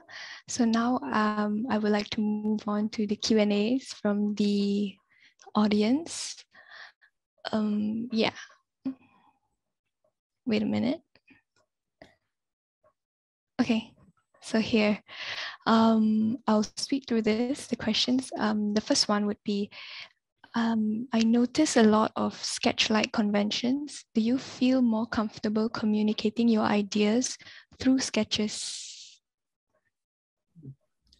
Uh, I, I think uh, it depends on the circumstances. Like uh, uh, when uh, when I was working on Jai Jagat Theatre, we we were communicating ideas to drawings and models, and and many times drawings because uh, the person who I was dealing with has certain understanding to read architectural drawings, so that was fine. But in the community housing project, drawings uh, didn't make any sense actually that uh, this contractor could not read architectural drawings neither he could read working drawings. So that's where we had to change our uh, technique or for the school for the blind project that we also have worked where uh, drawings are used uh, uh, to communicate architecture and it depends on visual ability right? And and when when we were working on school for the blind project uh, the visual ability is not there and how do you communicate uh, drawings then? So that's why we also started looking at tactile drawings. So i feel that with each project uh, you have to understand the users and uh, and and uh, and act accordingly. So so far our process is not being similar for each project. We we adapted to different circumstances just to make sure that there is a dialogue uh, in the process. Uh, uh, so users can be involved in the design process as well. Yes, I very, very much agree with that. Moving on to the next question. Um, how do you find the balance between historical, cultural, and also religious elements in your design? Do they all happen simultaneously or one supersedes the rest? It's a difficult question, but um, I think that when you're working, as I was saying, no, before that, uh, you gather so many references of history, your readings about the sea, the way you see things around, and and uh, and I think Siza has written very beautifully that architects use uses history to renovate architecture. They do not discover anything new, but they just transform reality so i believe in that also. I think that i i think that uh, this is very uh, true no? I mean uh, that uh, we do not invent things no? But we gather so many things that we have seen around and then uh, in your mind somehow it stays and then when you're drawing i think uh, consciously sometimes and sometimes unconsciously it comes out no? I mean when i look back some of my, of the work then i say okay no i've seen this place. That's why this place was like this and I remember that uh, uh, Professor Doshi always used to encourage us that uh, to draw what we like and what we don't like. So wherever we go, so uh, we were always told to keep a sketchbook and a measure tape and, uh, and a pen. No, so we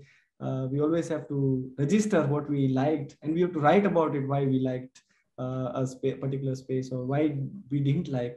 So I'm sure that uh, there are so many uh, references uh, that comes out when you're working. But I, I, I cannot say that this or that you know that this has influence or that has influence. I think that so many things so many circumstances uh, uh, influences your design process. And and it's a complex thing. I, I don't think it's a linear process. It's so many things are happening in your mind simultaneously while you're working. Understood that was a very nice answer. And okay, sorry, I have to rush to the next one. Um, what do you think about the future of architecture in India and how will it look like in 10 years? Uh, I have no idea actually how to answer this question because I'm also still working and learning and trying to discover things on my own. Um, but as I was saying that um, uh, our profession is uh, uh, I don't know, focusing on only two or three percent of the society, and, and we really want to also look at the other uh, percentage of the society. Not to say that you want to only do this or that, you know. Uh, so we are looking at all different kind of typologies. What also Chat was saying, you know, that you don't want to uh, get into one thing that uh, and keep working all of your life. You also want to explore different dimensions of architecture, but not forgetting the large component of uh, of the population which who has no access is. So so that's where at least our practice uh, we really want to focus on on the on the communities who do not have accesses and what to like to work for them as well. Uh, not to say that uh, our focus is this or that you know we want to work on broad spectrum. Uh, we also do installations we also do institutions but also looking at the basic of the basic house so we would like to broaden our perspective into that. And i hope that uh, our profession in india at least uh, also broad, broadens up that uh, and brings this discussion to the community yeah. Understood. And okay, this one question said, beautiful drawings.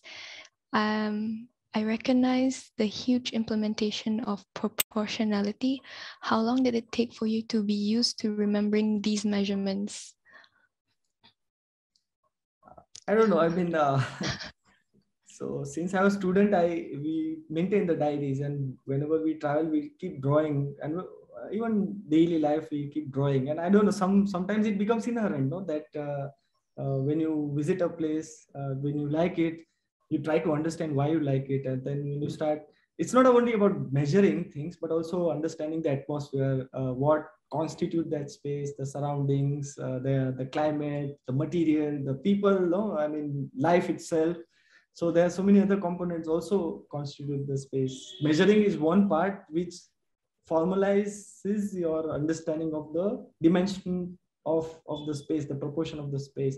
That, okay, this width and this height and this sort of opening uh, in this direction gives a sense of this quality, you know, like, uh, I don't know, it's a, it's a very personal, again, understanding of it. So, so yeah, I think uh, uh, uh I, I, I measure things to to understand the scale of it because when you see things uh, when you register things there's certain things you you get but certain other aspects of the scale itself sometimes miss out and i think that with uh, experience might you might start comparing that okay uh, and and i use some references always to compare uh, my own space to let's say wherever i go so five times my own space is this space you know so something that i always keep in my mind uh, just to register the proportion of it. I'm sorry, I don't know if I answered this question. It's, it's difficult actually. It's a tricky question. Yeah, I hope the audience who asked this question understands. And yeah, moving, I think we have to sort of move. Um, I'm gonna ask one last question. Um, okay. Okay, it's gonna be from this anonymous um, amazing sharing, Mr. Anand. I think I noticed that there were people sitting on the tall wall. Was that a culturally ergonomic consideration before the design, or was it the people's culture, the locals' behavior that kind of molded that usage?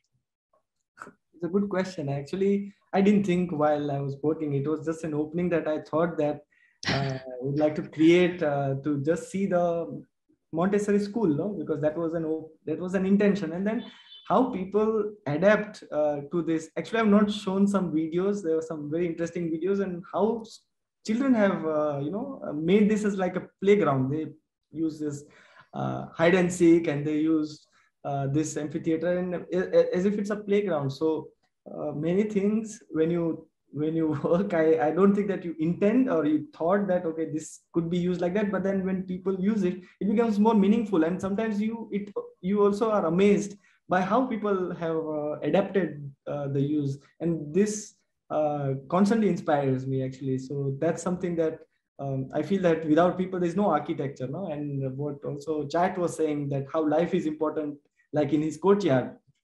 Uh, so i think that this uh, amphitheater is is uh, useless uh, if there are no people inside. So, and I think that how when people use it, it becomes more meaningful, and then people use it in their own way, and they are comfortable about that space. That's why they are sitting like this or they're hanging like that. You know. So uh, I think that uh, architecture uh, serves as a backdrop to celebrate these activities. I feel. True. Thank you so much again, Mr. Anand. I really appreciate the time taken for, to share this very beautiful presentation. I'm so sorry that we had to cut your presentation quite short. Like you, you didn't get to share your videos, but I learned a lot from this session. I hope the participants did too. So now we will move on to our very final speaker for today, uh, Mr. Realrich Sjarief on the tangible and intangible aspects of architecture. Thank you again, Mr. Anand. Thank you very much.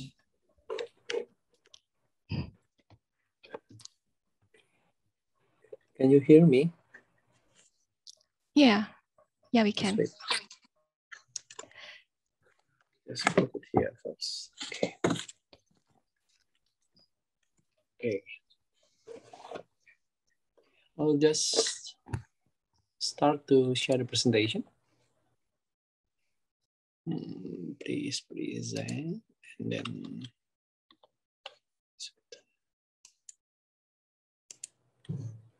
share screen.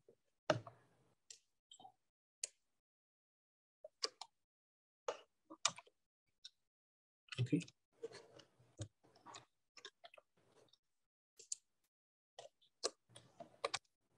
Okay. Okay, shall I start now?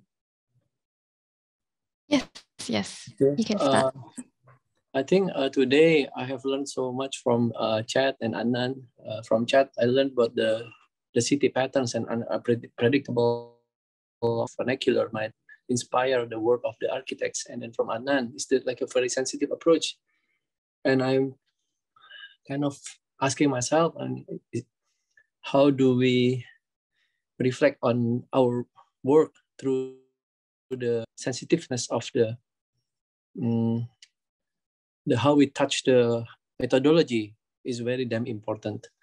Uh, I'm very touched of the Anand's word and the sensitivity of the culture that he brings. Is a, I think uh, somewhere, if there's a chance, I think uh, I'll be happy to touch the ground and see it. Anand, it's very nice. Okay, I will uh, present the the the the the talk about the tangible intangible is the term uh, come up from the uh, the from Lee and the friends. I think uh, they asked for the tangible intangible. So as I'm asking for myself, what's the intangible? I'm, I'm, I'm trying to define the missing scenes actually. the missing scenes is probably can be defined as an attempt to reach a project to push our usual design to acknowledge diverse contexts. I put some of the words like a generic and diverse, revolving heavily around the project existing culture and community. Uh, I was thinking that the way to push the boundary can be seen as a two way of thinking. The tangible that can be defined as something you can see is an impression of what you can perceive in a solid form of reality. You can identify it from the senses, uh, like uh, your ear, your eyes, your nose, and your mouth. And the other thing is intangible, the forces that make you understand that the power of idea has unlimited limit of critical and creative thinking. It's a way to reconcile yourself, um, to be open mind, and to uncover to uncover bricolages. This is quite Uh, interesting that the tangible can be defined as something you can see.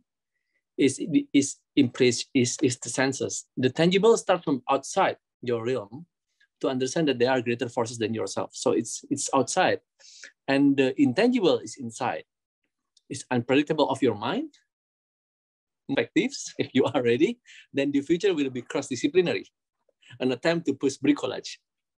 So the disclaimer is, I see the hermit sometimes. When I see them, I'm stammering, feels a bit dizzy when the hermit comes, but I'm excited to see it more and more. So I'm trying to find what the hermit is.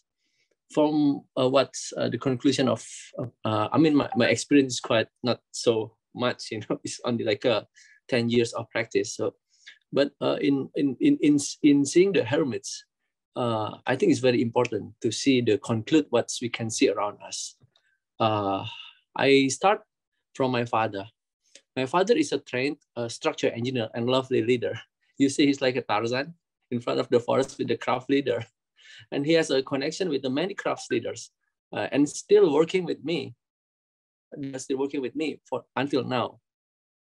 Experience like a 30 years experience. So that's uh, uh, un, un, unfilled the, the, the, the experiences in the Indonesian uh, in pre-independence until the post-independence until now. So my house, this is my house, my father's house. I experienced uh, in the childhood in Surabaya. What Chat's explained, the house is near Gang Dolly where the rich and poor lives. Normal and crazy people. I get a friend with the crazy people, literally crazy, crazy kids. That's always smiling, like uh, right, well smiling and opening your, your clothes, things like that. And where the prostitutes wanders in the daylight, trying to survive. And I get along with all the kind of people. So I found out that not only the architecture is important, but the people inside is very important and they are like having a survival. So I was architecture itself is uh, excited because I can play with in, in my father's workshop area in Surabaya. It's uh, full of tools. And but uh, during uh, like a once in a year or twice in a year, my father will gather all of the craftsmen just to sit down and carry and together. And it's a spirit of togetherness and like uh, eating together, like uh, talking until the nighttime is is is is is like uh, coloring my my life. I so in in my process of learning, I, I got lucky to get uh, uh, accepted in the Foster and Partners. Is I think it's a superior high technology process. So I, I call it superior high technology process because I it was very privileged. I mean, working with them is, is, is high technology because it's cross-disciplinary already. And it has a very, uh, very talented uh, engineers over there. And we did it in the conceptual stage, not in the later stage, but in conceptual stage, we have the privilege to talk with the construction uh, engineers, with the mechanical, electrical, plumbing, and all of them to provide the how the integration between the cross field is uh, uh, is, is the is the like uh, the, the breadth of the architecture at the beginning of the experimentations. It's crazy. How can we we practice like that in Indonesia? we don't have that kind of superior high technology process. What we have here is low technology without like a very uh, it's not too skillful engineers, but I think we can have it quite right. And I start with uh, my parents' house when I practice. Yeah, I start uh, to like uh, conquering my my parents' house. So until the time that my parents asked me to leave, because oh you you're obviously getting bigger and bigger that time you leave. And you see that number two, one, two, three is my workspace. Number 10 is, is the designer space. Number four is the designer space. Number six, the administration space. My wife is a dentist. She helped the administration. You know, the dentist is very strict he will drill your, your teeth if you are not following her. But I think it's good for having a discipline as an architect, you know. Number seven is the our shared kitchen where everything goes there. Very beautiful things. When my mom is like a very uh, proficient on the cooking. So this is the mezzanine floor, and you see all of this, uh, the, the complexities of the gated community and the high rise, you know, in the in the between of the low rise, is, is it had it has a gap, you know, and there's like a backlog of a housing. We need to provide housing, but of course, uh, our house is limited, and I'm uh, I'm just looking of some of the keywords at the time, like a craft integrations. How is is there like a if there is no space for the experimentation, how can we read the book? I mean, it's like a, like a, our escape point. How we define experimentation and how, how is the pattern looking outside the Jakarta, or even we make a community called the Made in Jakarta, just to, in, in chat's uh, way of thinking, it's like a bastard pattern, how we can define a bastard, bastard. And there is a wedding on the street because we don't have, a road, but the culture is they, they, they, they did the wedding on the street and they block the road. It's a vernacular uh, thing of tradition that makes our life as alive. But uh, I found out the first Sophia, Sophia said, it's a philosophy. Sophia, Sophia said, you just have to love it first. Have a belief that you are unique. And that's Sophia. When you you have thinking like that, you have to love it first. You have to digest it. But it's the hermit of Sophia. They always ask you to love yourself and love your thinking and just believe on yourself. And there are limitations of experimentation mode. I mean, that's what, what I'm remember. And this uh, office room keep changing all of the time. And then uh, by changing all of the time, we need some of modular structure outside the garden. And we, we made the uh, modular structure for the students uh, so they can learn with, with the studio. So there are like a limitation of experimentations. Is, the, is, is there like a three act, like an act to decrease the volume of material used, to ease the construction by, by the craftsman, and to lighten the building materials. And that kind of uh, three modules, like uh, experimented in here is like connection with adaptive fiber constructions using a small joinery bolt and we provide like a space. So using a very simple method like a bookshelf, so we can create such a structure called architecture. and then, and then uh, this is our, our first house uh, called a very minimalist. It's a actually simple house. It's unpretentious because it's like concrete washed.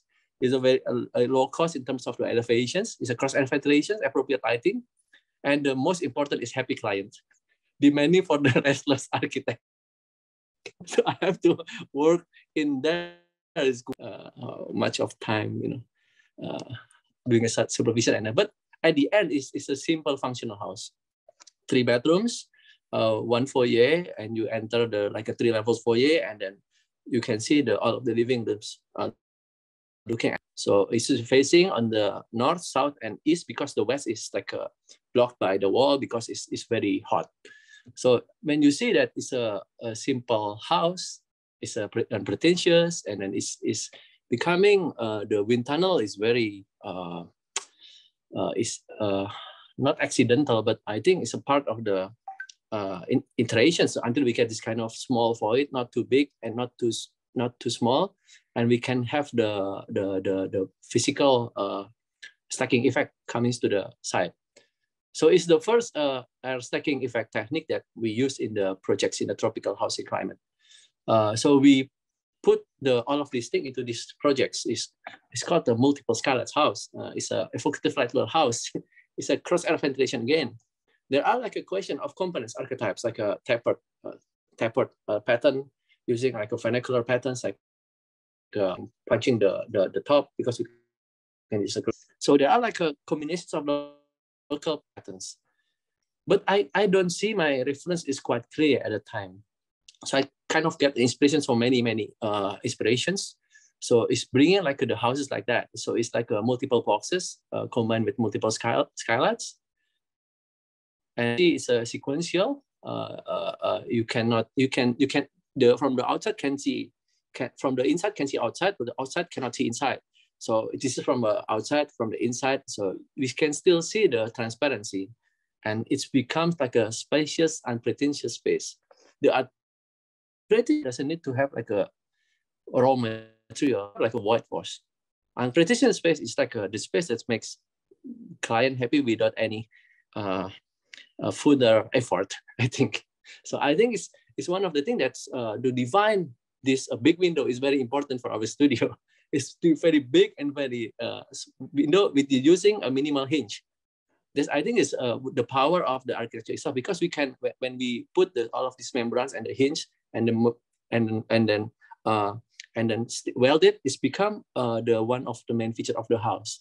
And still, it's unpretentious, and it's happy client, and the happy client is very important. So uh, so this is the the video of the house. Uh, I don't, but I think it's, it's not too needed. I, I because the time is limited, I think I'll just skip it. Um, okay, please wait. It, it's, I to have, ah, this one. Then the hermit comes, the, the, the second hermit.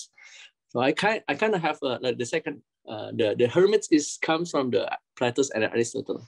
The Plato said it's a rationalism that you need to have something new all of the time, and the Aristotle said, oh, there is nothing new under the sun. It's this uh, this all of these two streams is like a uh, integrating and becomes there are like a little man in the middle is the Chronos is a hermit of time. So then these three hermit uh, create together into two hermit and it becomes has a conclusion of the fourth hermit. So the first hermit is the Sophia, the second hermit is the Techne, The third hermit is the phronesis. The fourth hermit is the episteme. The episteme is the knowledge of the overall when you can evaluate. It's become like a writing, it's become like a book, it's become like a total. When the first hermit is the Sophia, is the way that you love architecture so much until you can die for it. It's, it's, the, it's, the, it's the dedication to be mission, to have a mission. With, with I think from the Anand presentation, we can see uh, Gandhi and Anand motif is to, to have a sensitive approach in the architecture, heartwarming.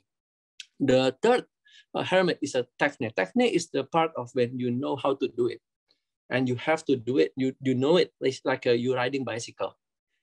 But you know it and you, you, want, you can do it straight away. But the phronesis is very important. It's the way that you can tactical, tactical transactions. it's the way of the kampung transactions. It's the way of the many of participations method. Phronesis is the heart of the when you can appreciate the human's life in terms of architecture. So drives more into these four hermits. So this is uh, the, the the vernacular architecture in Indonesia. So we can say this is like a, the combinations of between the phronesis, episteme. It's become as episteme already because it's, it's been evaluated and it's, it's around but, but during the time when it's created, probably it's just a basis. So it's just business technical, including like a stacking the stone. It's like a technical things. So it's become a technique. After the technique, it's become like over and over with the love of making and it's become like a political will and it's become like a power will and become like a colonial statement or it become like a decolonialist statement is whatever things in the human there is a will to provide something good. And then it comes and it's wrapped up the history. so i think it's all about this kind of instead of this all of these things like a history in indonesia. But this one is interesting the theory from the gadama the the, the dominic uh, Gaudenz Domenig, it said that the primitive structure in, the, in some of the vernacular structure is based on the TP structures, meaning that the, the, the, the volume could be decreased and the, the, the, the, the forms of the, the, the simple vernacular is derived from the tense structure, TP structures. So I, I have this kind of um, inspiration that forms the Alpha Omega schools.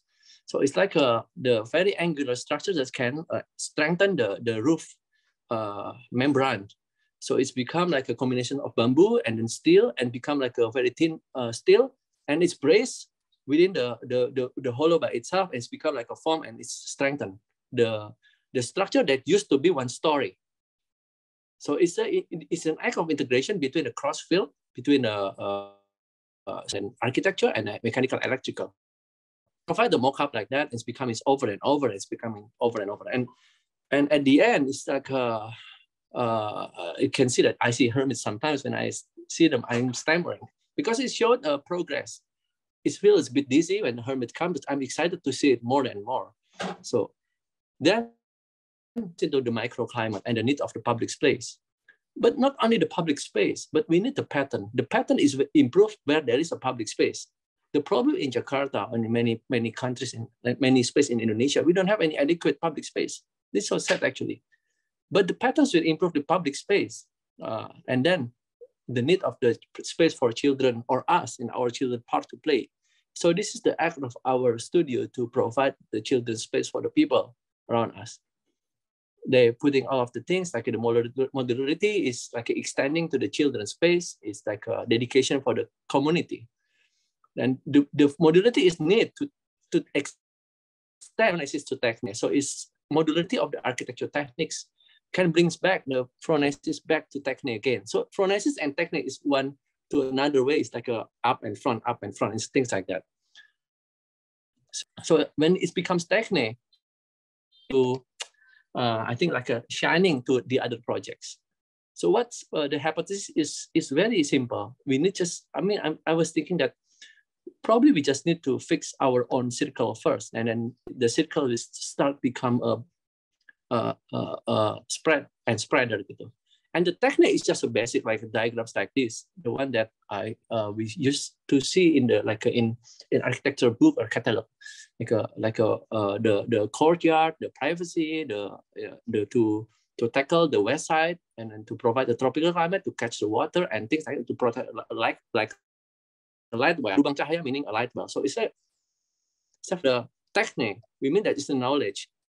So when we have that one, it's, this become like a, and then the phronesis comes again, and the, the Sophia said, we need to stay focus again, to love architecture again. And the, the phronesis and the technique integrates, the hand become a tools, and the Sophia still stays. And then the phronesis comes, and actually you can re-question the tools. You can question the Photoshop. You can question the, whatever the 3D modeling software is. And you become understand that what you need is total integration of both of the hermits. The hand become tools. And Sophia will tend the intent, but not the agenda. And there is no agenda at all if you have the Sophia. there is no agenda. Agenda to be famous, agenda to be, I don't know, seen or agenda to be whatever. The, the, there is no agenda. It's just a good intent to, to put the effort in your life for architecture. And the result is continuation of your changing model of phronesis and technique, bringing a bit of the unpredictable pieces. So, and we can un, we cannot un, unlimit this one to bamboo uh, in terms of uh, depth If you have a technique, it's a cold, unrealized opportunity, depth materials. But when phronesis comes, the intuition of greening and opens up ecosystem cools down the area. So I think the technique and the phronesis has a spirit of the opening the boundaries, changing the material. Entrance is not one, but multiple. And multiple, which is not a solid, but liquidify. And then it's understanding the walk of the uncovered zone is comfort. But prioritizing your love is needed, like uh, put the appropriate pictures and things like that, and pin, finding the appropriate sunlight. The appropriateness is very important now because you know the technique you you have the Sophia inside you, but you still don't know what's going on. Is this? You smell it, I smell it, I uncover it into many symbolical meaning. The symbol could be meaningful. It's realized over and over. And finding the appropriate sunlight, whether it's a techniques concrete or whether it's uh, uh, in the casting of the concrete is always precious. But at the end, the craftsman is important. They are designers of the site. We can learn from them into duality of process, hearing, listening, and discussing. And then you see what is the door is not straight. It's the discussion with the craftsman who can make it. It's the act of the phronesis. And when you repeat it over and over, whether it's normative or the affordable for the generic things, it's still a grammar. And it's become your own grammar. And it's become like an intuitions and whether it's the it's a circle or it's a it's a rectangle the budget is still the same. If you know the techniques it's not about the form anymore. It's about how far you can push your own grammar and then when appreciate nature and bring the climates, the moon orchid blooms in the Jakarta naturally without me mechanic conditioning. The moon orchid is very difficult to grow in the Jakarta it's easy in the Bandung in the cold climate, but in Jakarta, it's so damn difficult. And it, it comes when, in, in, when and before it techne and the phronesis comes, it's techne again and the phronesis comes. Then the techne is integrated with phronesis, in the Sophia stays. It's always like that when when we, we have this kind of thing. It's still in the garage scale. So I think in the very small things, big things, and we find the appropriate uh, the way that I can understand the episteme is through the books of learning.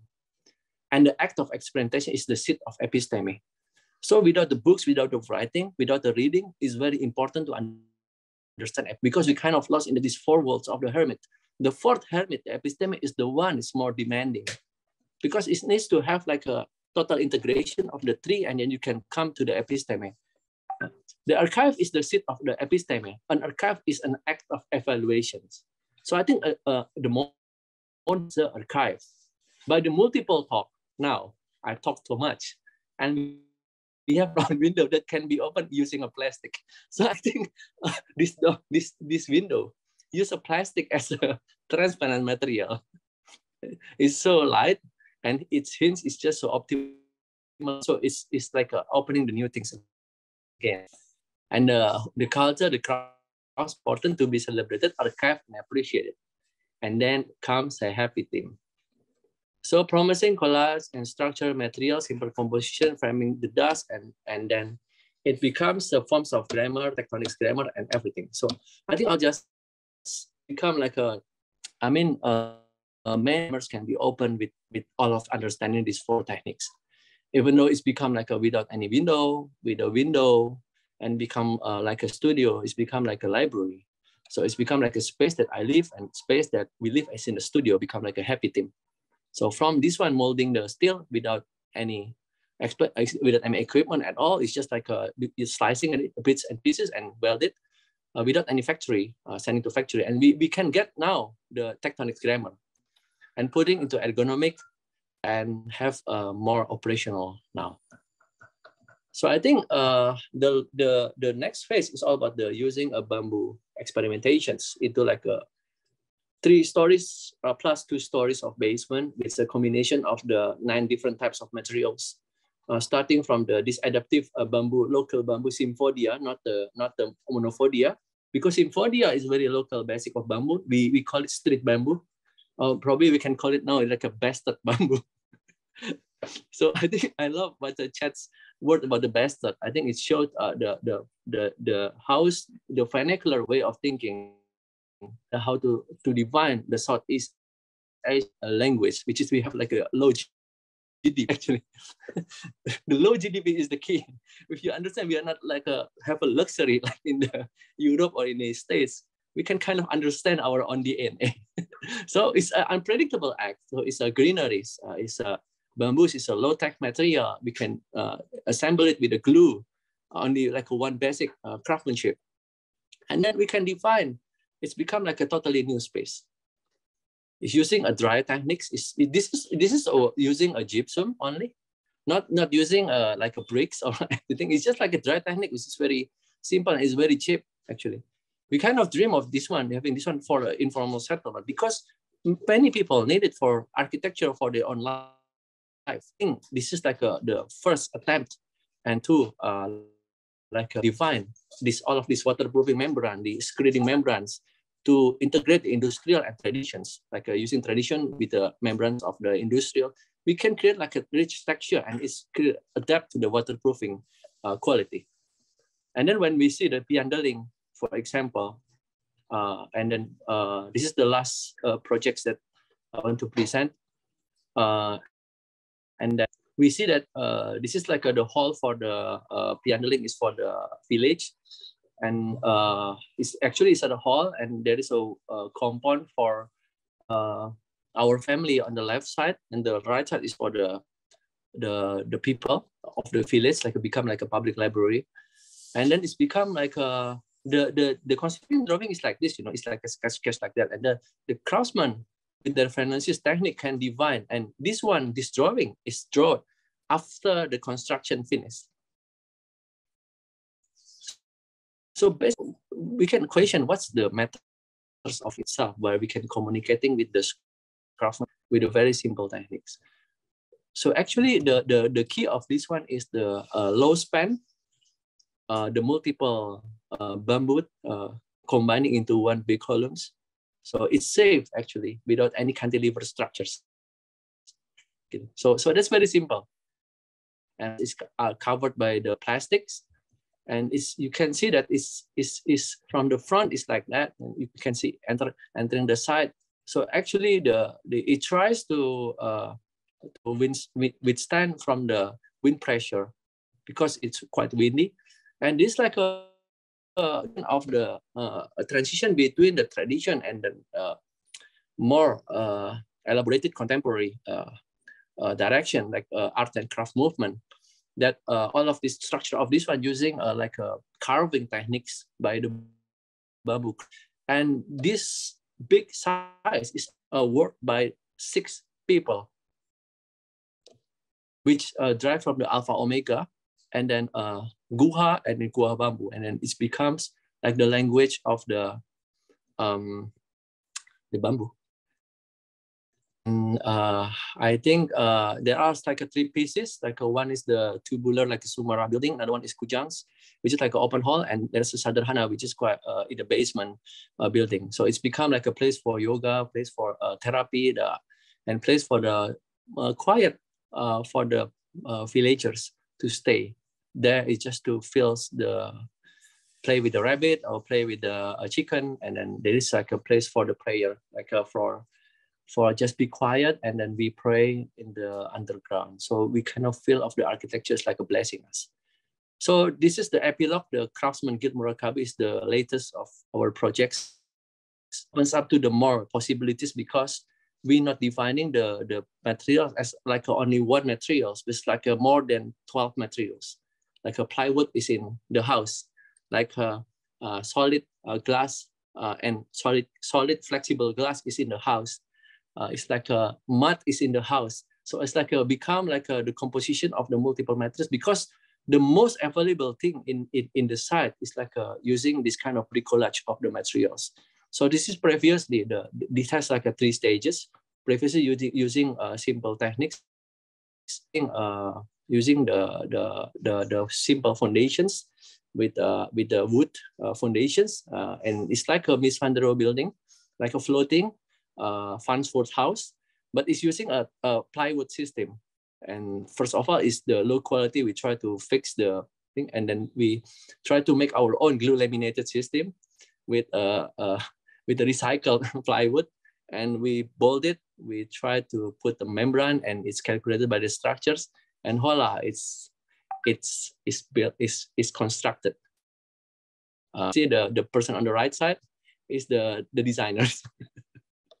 our studio can jump like that. He's crazy. He's a he's a Phronesian, you know, can jump and argue about the, how to make the the structure ready. And it's the it's the languages of the site and the languages of the use the light light light steel combined with multiplex with a plywood, and it's become like a combination between the gypsum, like a like a light steel, and it's become like a, a recycled um, galvanized. And there is like a paving there and a lot of materials coming there. And when we, we divide a water torrent is with, with the material like a wood and it's is is is, uh, is uh, attached to the uh the the the trees the tree over there so we don't cut the tree and so we put the trees over there is for the uh, water tank and the combinations of the of the um, the the the the the toilet the circular one in the Alpha Omega School, and I get inspiration, the Jalis from the Laurie Baker's uh, architecture, which is I really adore. I mean, I, I, I really adore how we can always learn from the other region. It's a cross region already. It's a cross nationality. It's a cross people. It's a multiple perspective, and then it's big language of the gypsum between the the the wooden and and the last is perforation steel uh, to to hold the structural deep and then and we, we have the roof garden made by made by uh, wood. So this one is unpredictable because uh, of course we need to have like an integration with the structure engineer.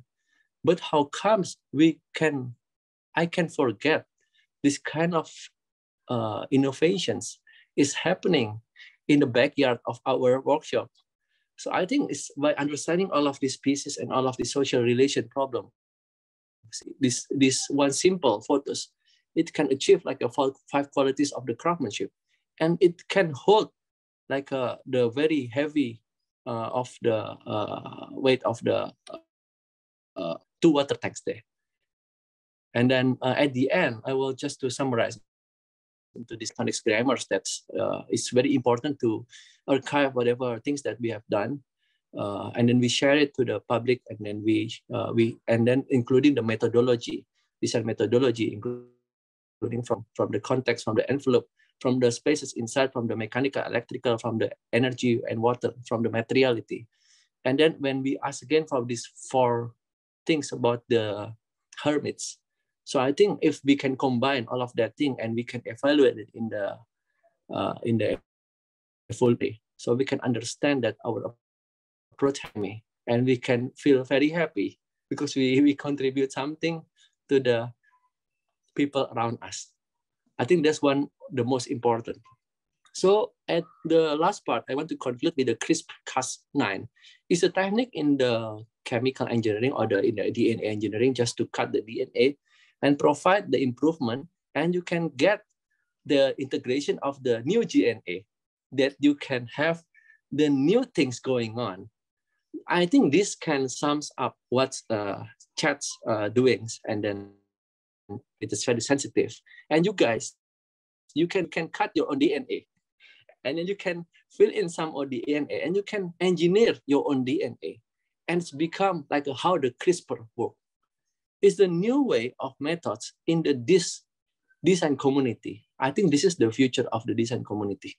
The CRISPR works, but it's not all, but it's shared within the platforms. So I think this is comes to the, my latest uh, the, the slides. Uh, I was thinking that there is a word for what uh, we have done, but it's uh, is given by one of the professor, my friend.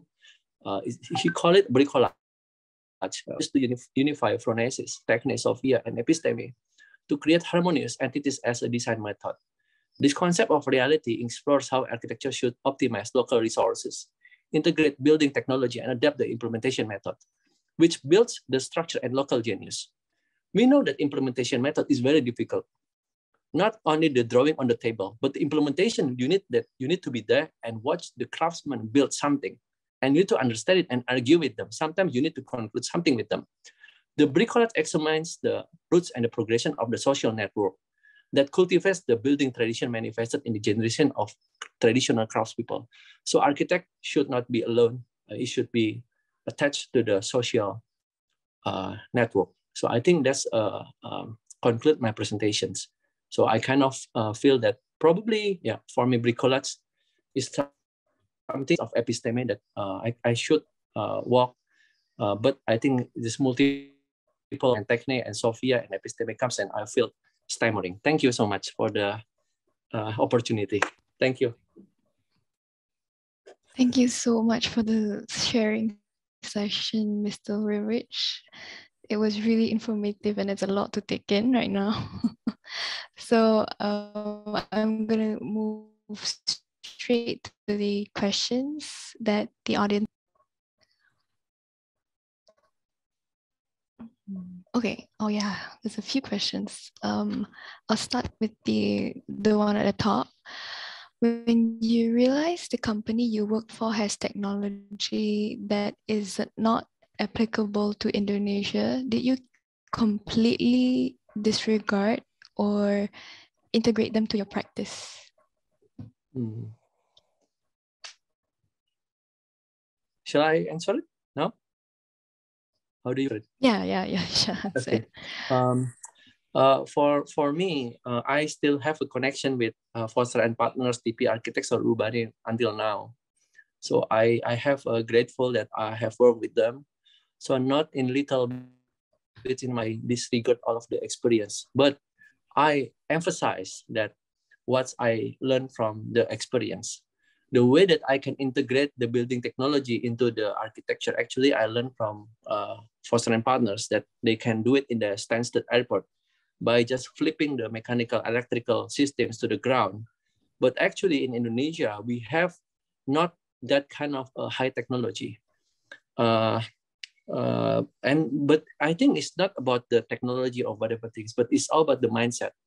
I'm I still think that me ready for for the certain scale you know i i think my, my me is just like uh, the formative years of my practice uh, so i'm trying to understand what i can i am capable of and trying to integrate uh, that kind of my previous experience and my current experience and my father's experience my grandfather experience into my practice so understanding that i have a limit of my capability in this time i think uh, and evaluations again i think uh, I can say that okay, this is enough for me. I think that's uh, I, the feeling of that grateful important, and then we can just be friend, uh, brotherhood with all of the people without like a sense of the uh, weakness, you know, like a weakness because of oh, we competing with other people, we competing with our previous office.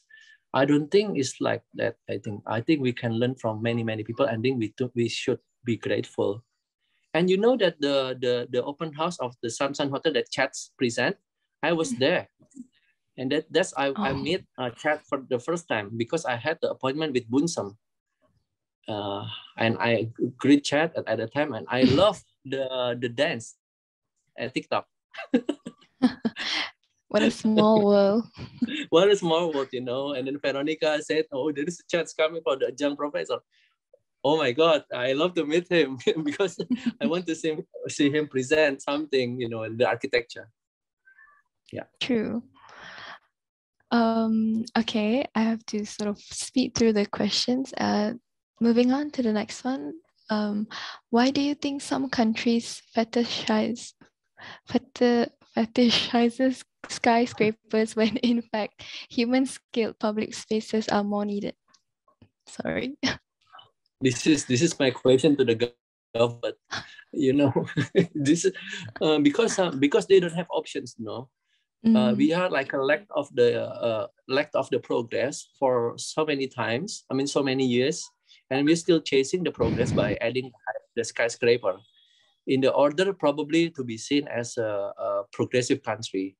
But I think uh, we are we are copying paste or some of the rules and urban guidelines from, from the other countries without either taking it for granted. But I was thinking some some of the solutions. Okay, if some of the government things like that, that's okay.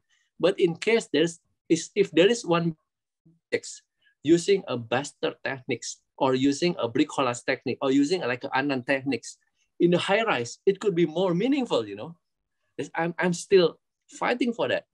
Using a low techniques, using like a multiple plywood and using, but it's a high rise. It's a multiple enriching of human's life. Of course, it needs to be like uh, safe and it needs to be like a, a re well researched. But I think if we are keep doing the same thing, we don't know what future might do to our life. But I don't think we should fetishize the skyscraper. Understand that the skyscraper there is there for, for a reason and we should criticize. Criticize it meaning the appreciations not only looking the negative things. The definition of the criti criticism is the appreciations actually. By knowing the layers behind the skyscraper's conditions i think we know that we are still housing. And that's that's work in indonesia as well the the the the seat of the mid-rise housing. Mm. Yeah, I think I think that's uh, mm. we we still lack of it. Yeah, as that's a reality. Sure. So sad, but yeah, we need to fight. Yeah, we should. Mm. Yeah. Should look at the layers instead of just criticizing it from a very negative point of view. Okay. Mm. I agree with that.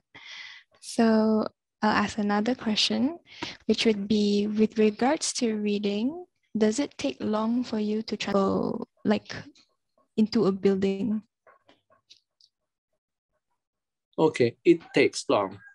I it took me for for a long time to to read uh the strange details, the theoretical anxiety, to Frampton's reading like uh the the poetics of the constructions uh construction culture and then uh, some of the tec tectonics culture.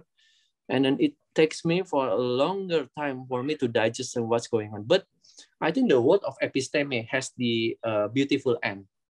But we still need to have a marathon, or we still need to have a patience to understand what's going on around us.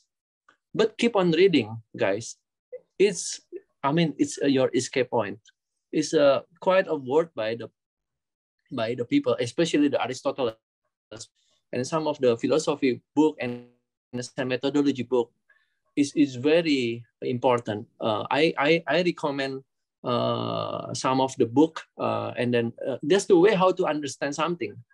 Without any book, there is no like uh, advancement in the um, that's written advancement that you can learn in the distance learning. There are uh, two ways of the learning, right? And one is like a guru like a direct learning that you need to be apprentice of someone. But that someone is rare. They are very very uh, limited in their capability of meeting people you know? And we need to have like another technique which is like a distance learning. And with that understanding that kind of limitation of time and people we can see that the the, the importance of design theory to to to to to integrate the methodology the the case studies and then you can evaluate it again.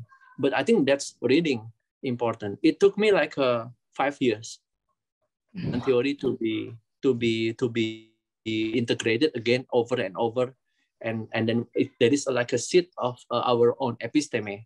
Because five years is combined like a 20 weeks of the building construction in indonesia. So i sum up like a one construction of the building is 20 weeks so if you 20 weeks 20 weeks 20 weeks you can parallel of, of the of the building you can have like a minimum like a, in one team you have like a three projects in the five years three projects meaning that you can always like a relate one not only two but only three that's minimum. So I think within the cross, cross platform, we can just learn from the uh, diversely. Yeah, that's why we need the five years. You own, sorry, but yeah. do you only read like philosophy books or only books related to architecture, or do you also find inspiration from something out of architecture, like non-fiction stuff, fiction books or something like yes. that? I Do you read uh, ever Little gain? Prince. Little I'm Prince. sorry? Little oh, Prince. okay. And then uh, Little Prince, and I read uh, um, uh, Alchemy. Uh, I read uh, Mm-hmm. many of the leadership books uh, written by Robin Sharma, by Simon Sinek, by many of uh, Seth Godin. Uh, I have like uh, half of my book is like uh, on probably third of my book is like a leadership book, and uh, some of it they are a comic book, and I I write uh, fantasy book as well about Narayana, like uh, the journey, Oh. like a little prince journey to know to jump to another universe with your rocket. so it's a, like a drawing of cartoon things like that for the children to learn architecture. So it's something like that, you know. If uh, uh, it's it's like uh, everywhere you can take architecture. Yeah, but I I limit myself into architecture, not into like a property developer on to like that. You know, I Yeah. limit myself. Understand. Okay, I'm gonna ask um, another two questions. Um, this one would be, you celebrate na nature and organic language into your build forms. Do you have any challenges when attempting this? Uh, yes, many challenges. Uh, um, because nature, to understand nature, you need to silent and slow down. Uh, and did trial and error. Actually, when, when I understand the moon orchid, when I understand the species of the trees, it cannot, it cannot be done in the fast language. Uh, mm, in order to get the evaluations, you need the time to digest it. Uh, but uh, the the not only it's not about yourself, but how you uh, with other uh, principle. Uh, in, for example, in one of our project, we provide clean water for the uh, pond, and the pond becomes swimming pool, so people can swim with the fish using a natural pond system. So that kind of practicing the disciplinary is this is one example which is quite interesting for like a one case for the one elements in the house. And i think that's the nature and that's the organic language uh, and how to uh, de define the physics. But the form itself is so damn, damn challenging. How to define linear concrete for example i think the curvilinear is another stage of the how we understand the biophilic forms but uh, to understand the biophilic form is not only about the form itself. We need to, to finish the generic functional problem first before adding the more aesthetic of, and it will come together in the one shot. So the, the challenges is to understand what is the priority that you want to fix first. And then after that, you fix it one by one, right? And at the end, you combine everything and you start again. So the uh, uh, uh, repeating it and losing your first iterations, uh, leave it, leave it, leave it go, is very damn difficult. And at the end, you need to redo it in one one goal again. You lose it everything and you do it again in one goal. So it's like a discipline like that. And after, uh, I think it's very fruitful moment when you meet a client, because when you meet client, people start to understand your own thinking. When when people to start to understand your own thinking, you can get trust by the people. Even though you need to you don't need to draw and people start to trust you. And of course you you will get the projects. But i think that's kind of things that we always need to educate people by talking hard to hard certain things like like sharing things to people without they're asking to us. Just helping people. I think it's important. And that's the challenge to combine nature and organic language. The challenge is in the context itself, not about the making of forms. Making of forms is difficult because you need to find the technique how to make it, the detailing and things like that. But of course, it will gradually improve by the time. If you if you don't improve it, your building will not look so good. it will so good, and the, the price will itself will become so expensive, and you will get criticized by your own client. It's like a self-reflection thing. So I think if you open to anything, you can just uh, open the ear for the client's need. I think it's very important attitude. True. That is very, very true. So I'm gonna move on to this last question. Um, knowing that you emphasize the importance of reading in benefits of architectural design, what is a what book is a good start for you? Uh, I have a like the yeah, I- Prince. I have uh, two books for a good start. Not a Little Prince. Little Prince, I I read it at the end of at the end of my reading because I need to bring back my own Sophia. You know, my little Yeah. my little friend of me. Uh, he uh, will he will start to greet me again when I'm stammering. It's a Little Prince. It's a but the the one book is uh, to be honest, it's very shame that it's in Indonesian. It's a book written by uh, Romo Mangunwijaya called the Wastu Citra.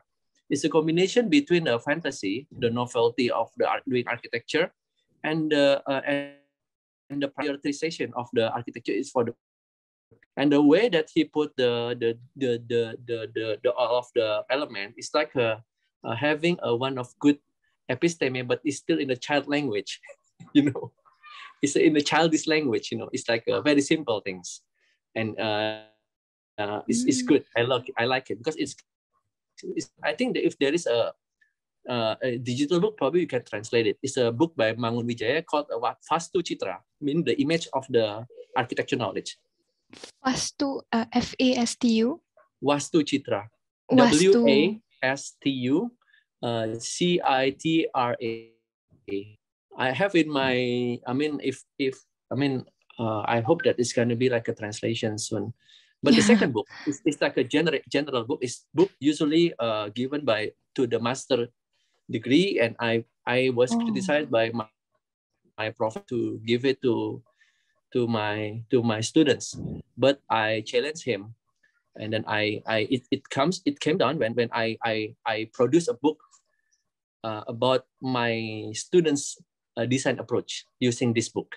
So the book titled uh, Theoretical Anxiety uh, is, is written by Rafael Moneo. It's very damn book because Rafael Moneo not read the book about himself.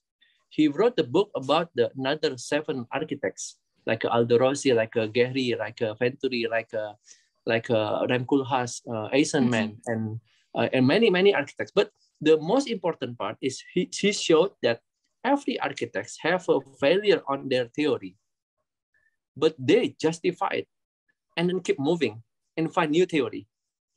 And it's a act of transformations from the beginning until the end of their career, and they're still progressing. But at the end, he said that he wrote that uh, not every works their masterpiece. The works that the architects done in a very critical moment, that is masterpiece. Critical moment meaning their survival instinct comes and they have like a, this fresh ingenuity during the time. And that makes me alive. And then Ramoneo has a very good attitude. And then he wrote about their his, I mean, his friend method and he shared it in the this I think Princeton or the Harvard uh, lecture about this book. I mean, it's a chronological. There is like a years by years, and there's like a lesson learned with the with the pictures, pictures there, and there's like a year, and there's like a caption what you can learn from it, and another picture. I mean, one one one architect has like a 80 or 130 pieces of the captions, thing like that. Wow. The book is like a thick like that. I mean, I have to I have to thank Moneo for this writing this book. It's enriching. Kipnis tried to to write a similar book uh, about the architects, but I, I don't think that because Moneo has a diagrammatical sequence. Mm. Is that good? So it's called theoretical anxiety. That's right. Okay. You can you can search it in in Google or I mean there is like a It's your architectural bible lah. Uh yeah I it's uh, the, the Do you remember it by heart? yeah uh, but I, I i when i read a book i have to do a book reading for for my students. Uh, that's my and i record it and i studied my interpretation again. So it's the act of uh, recording evaluation understanding and then published it and recording evaluation understand it and published it again. So i think by doing that and that uh, we kind of get what's going on inside his thought and probably we can do a hyperbolism like a criticizing of the Moneo's writing through the lens of ourselves. But I think this is our own problem, you know. I mean, I mean, I have to share to you the the seat of the the thinking. The interpretation could be many faces, you know, many hermits. Thank you so much for the answer. and I would like to thank all the three speakers to, who joined us for today. Thank you again, Mr. Realrich, for that very, very informative session. Yeah, we are very sorry that we have to cut all of you guys' session quite short. Um, I'm sure that we all learned a thing or two about the enriching lifestyle, to the processes that we um, our chief speakers have described. So we appreciate you guys for taking the time on a Saturday afternoon to give us an insight on this topic. But now, before we move on to our photo session, we would like to take a short amount of time to spin the wheel of the names to reveal our lucky draw winner. So I'll pass it on to Obviously to share the screen and spin the wheel. Okay, we have quite a number of names here. Thank you to everyone who joined.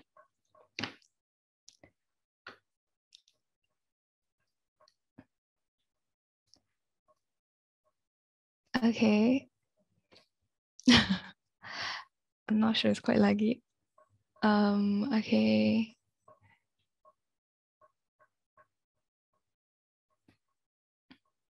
Is that it? okay. Okay, congratulations to Ryan Ng. Um, wait, I have to check. Is Ryan here with us? Okay, he is. Ryan Ng Chen, is it? Okay. So we would contact you further on the details of the ebook. You have won yourself an ebook. Congratulations.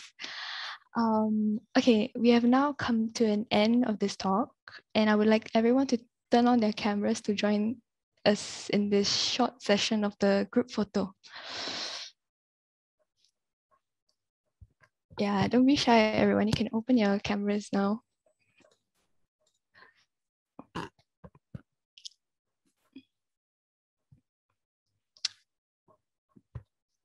Okay. Um,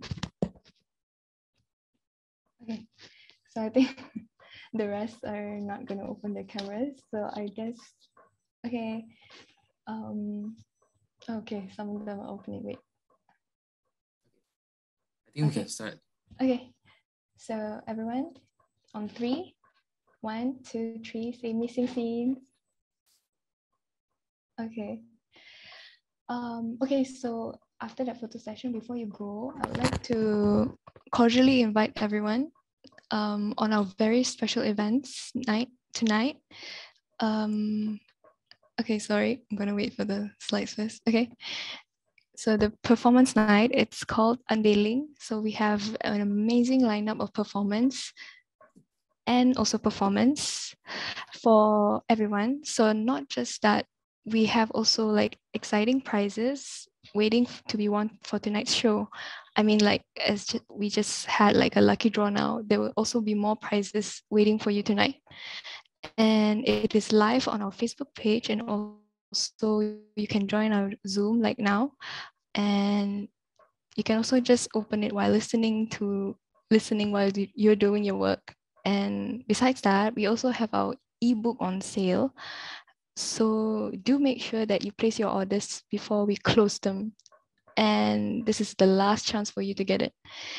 And for tomorrow, we would be having a group of well-achieved speakers and having discussion on practicing architecture. There would be AR Lilian Tay, AR Mustafa, AR Michael Cheng, and AR Sao In. So on top of that, we will have our final scene that is the closing ceremony happening right after that. So tomorrow will be our last day for this exhibition. So everyone is invited to join and it will be a day to remember indeed. So before I end this session, I would like to ask everyone in Zoom to give us a feedback for this session by answering the poll that will be, yeah, it will be on the screen here. So yeah, you can just provide us a feedback on how the session went and everything.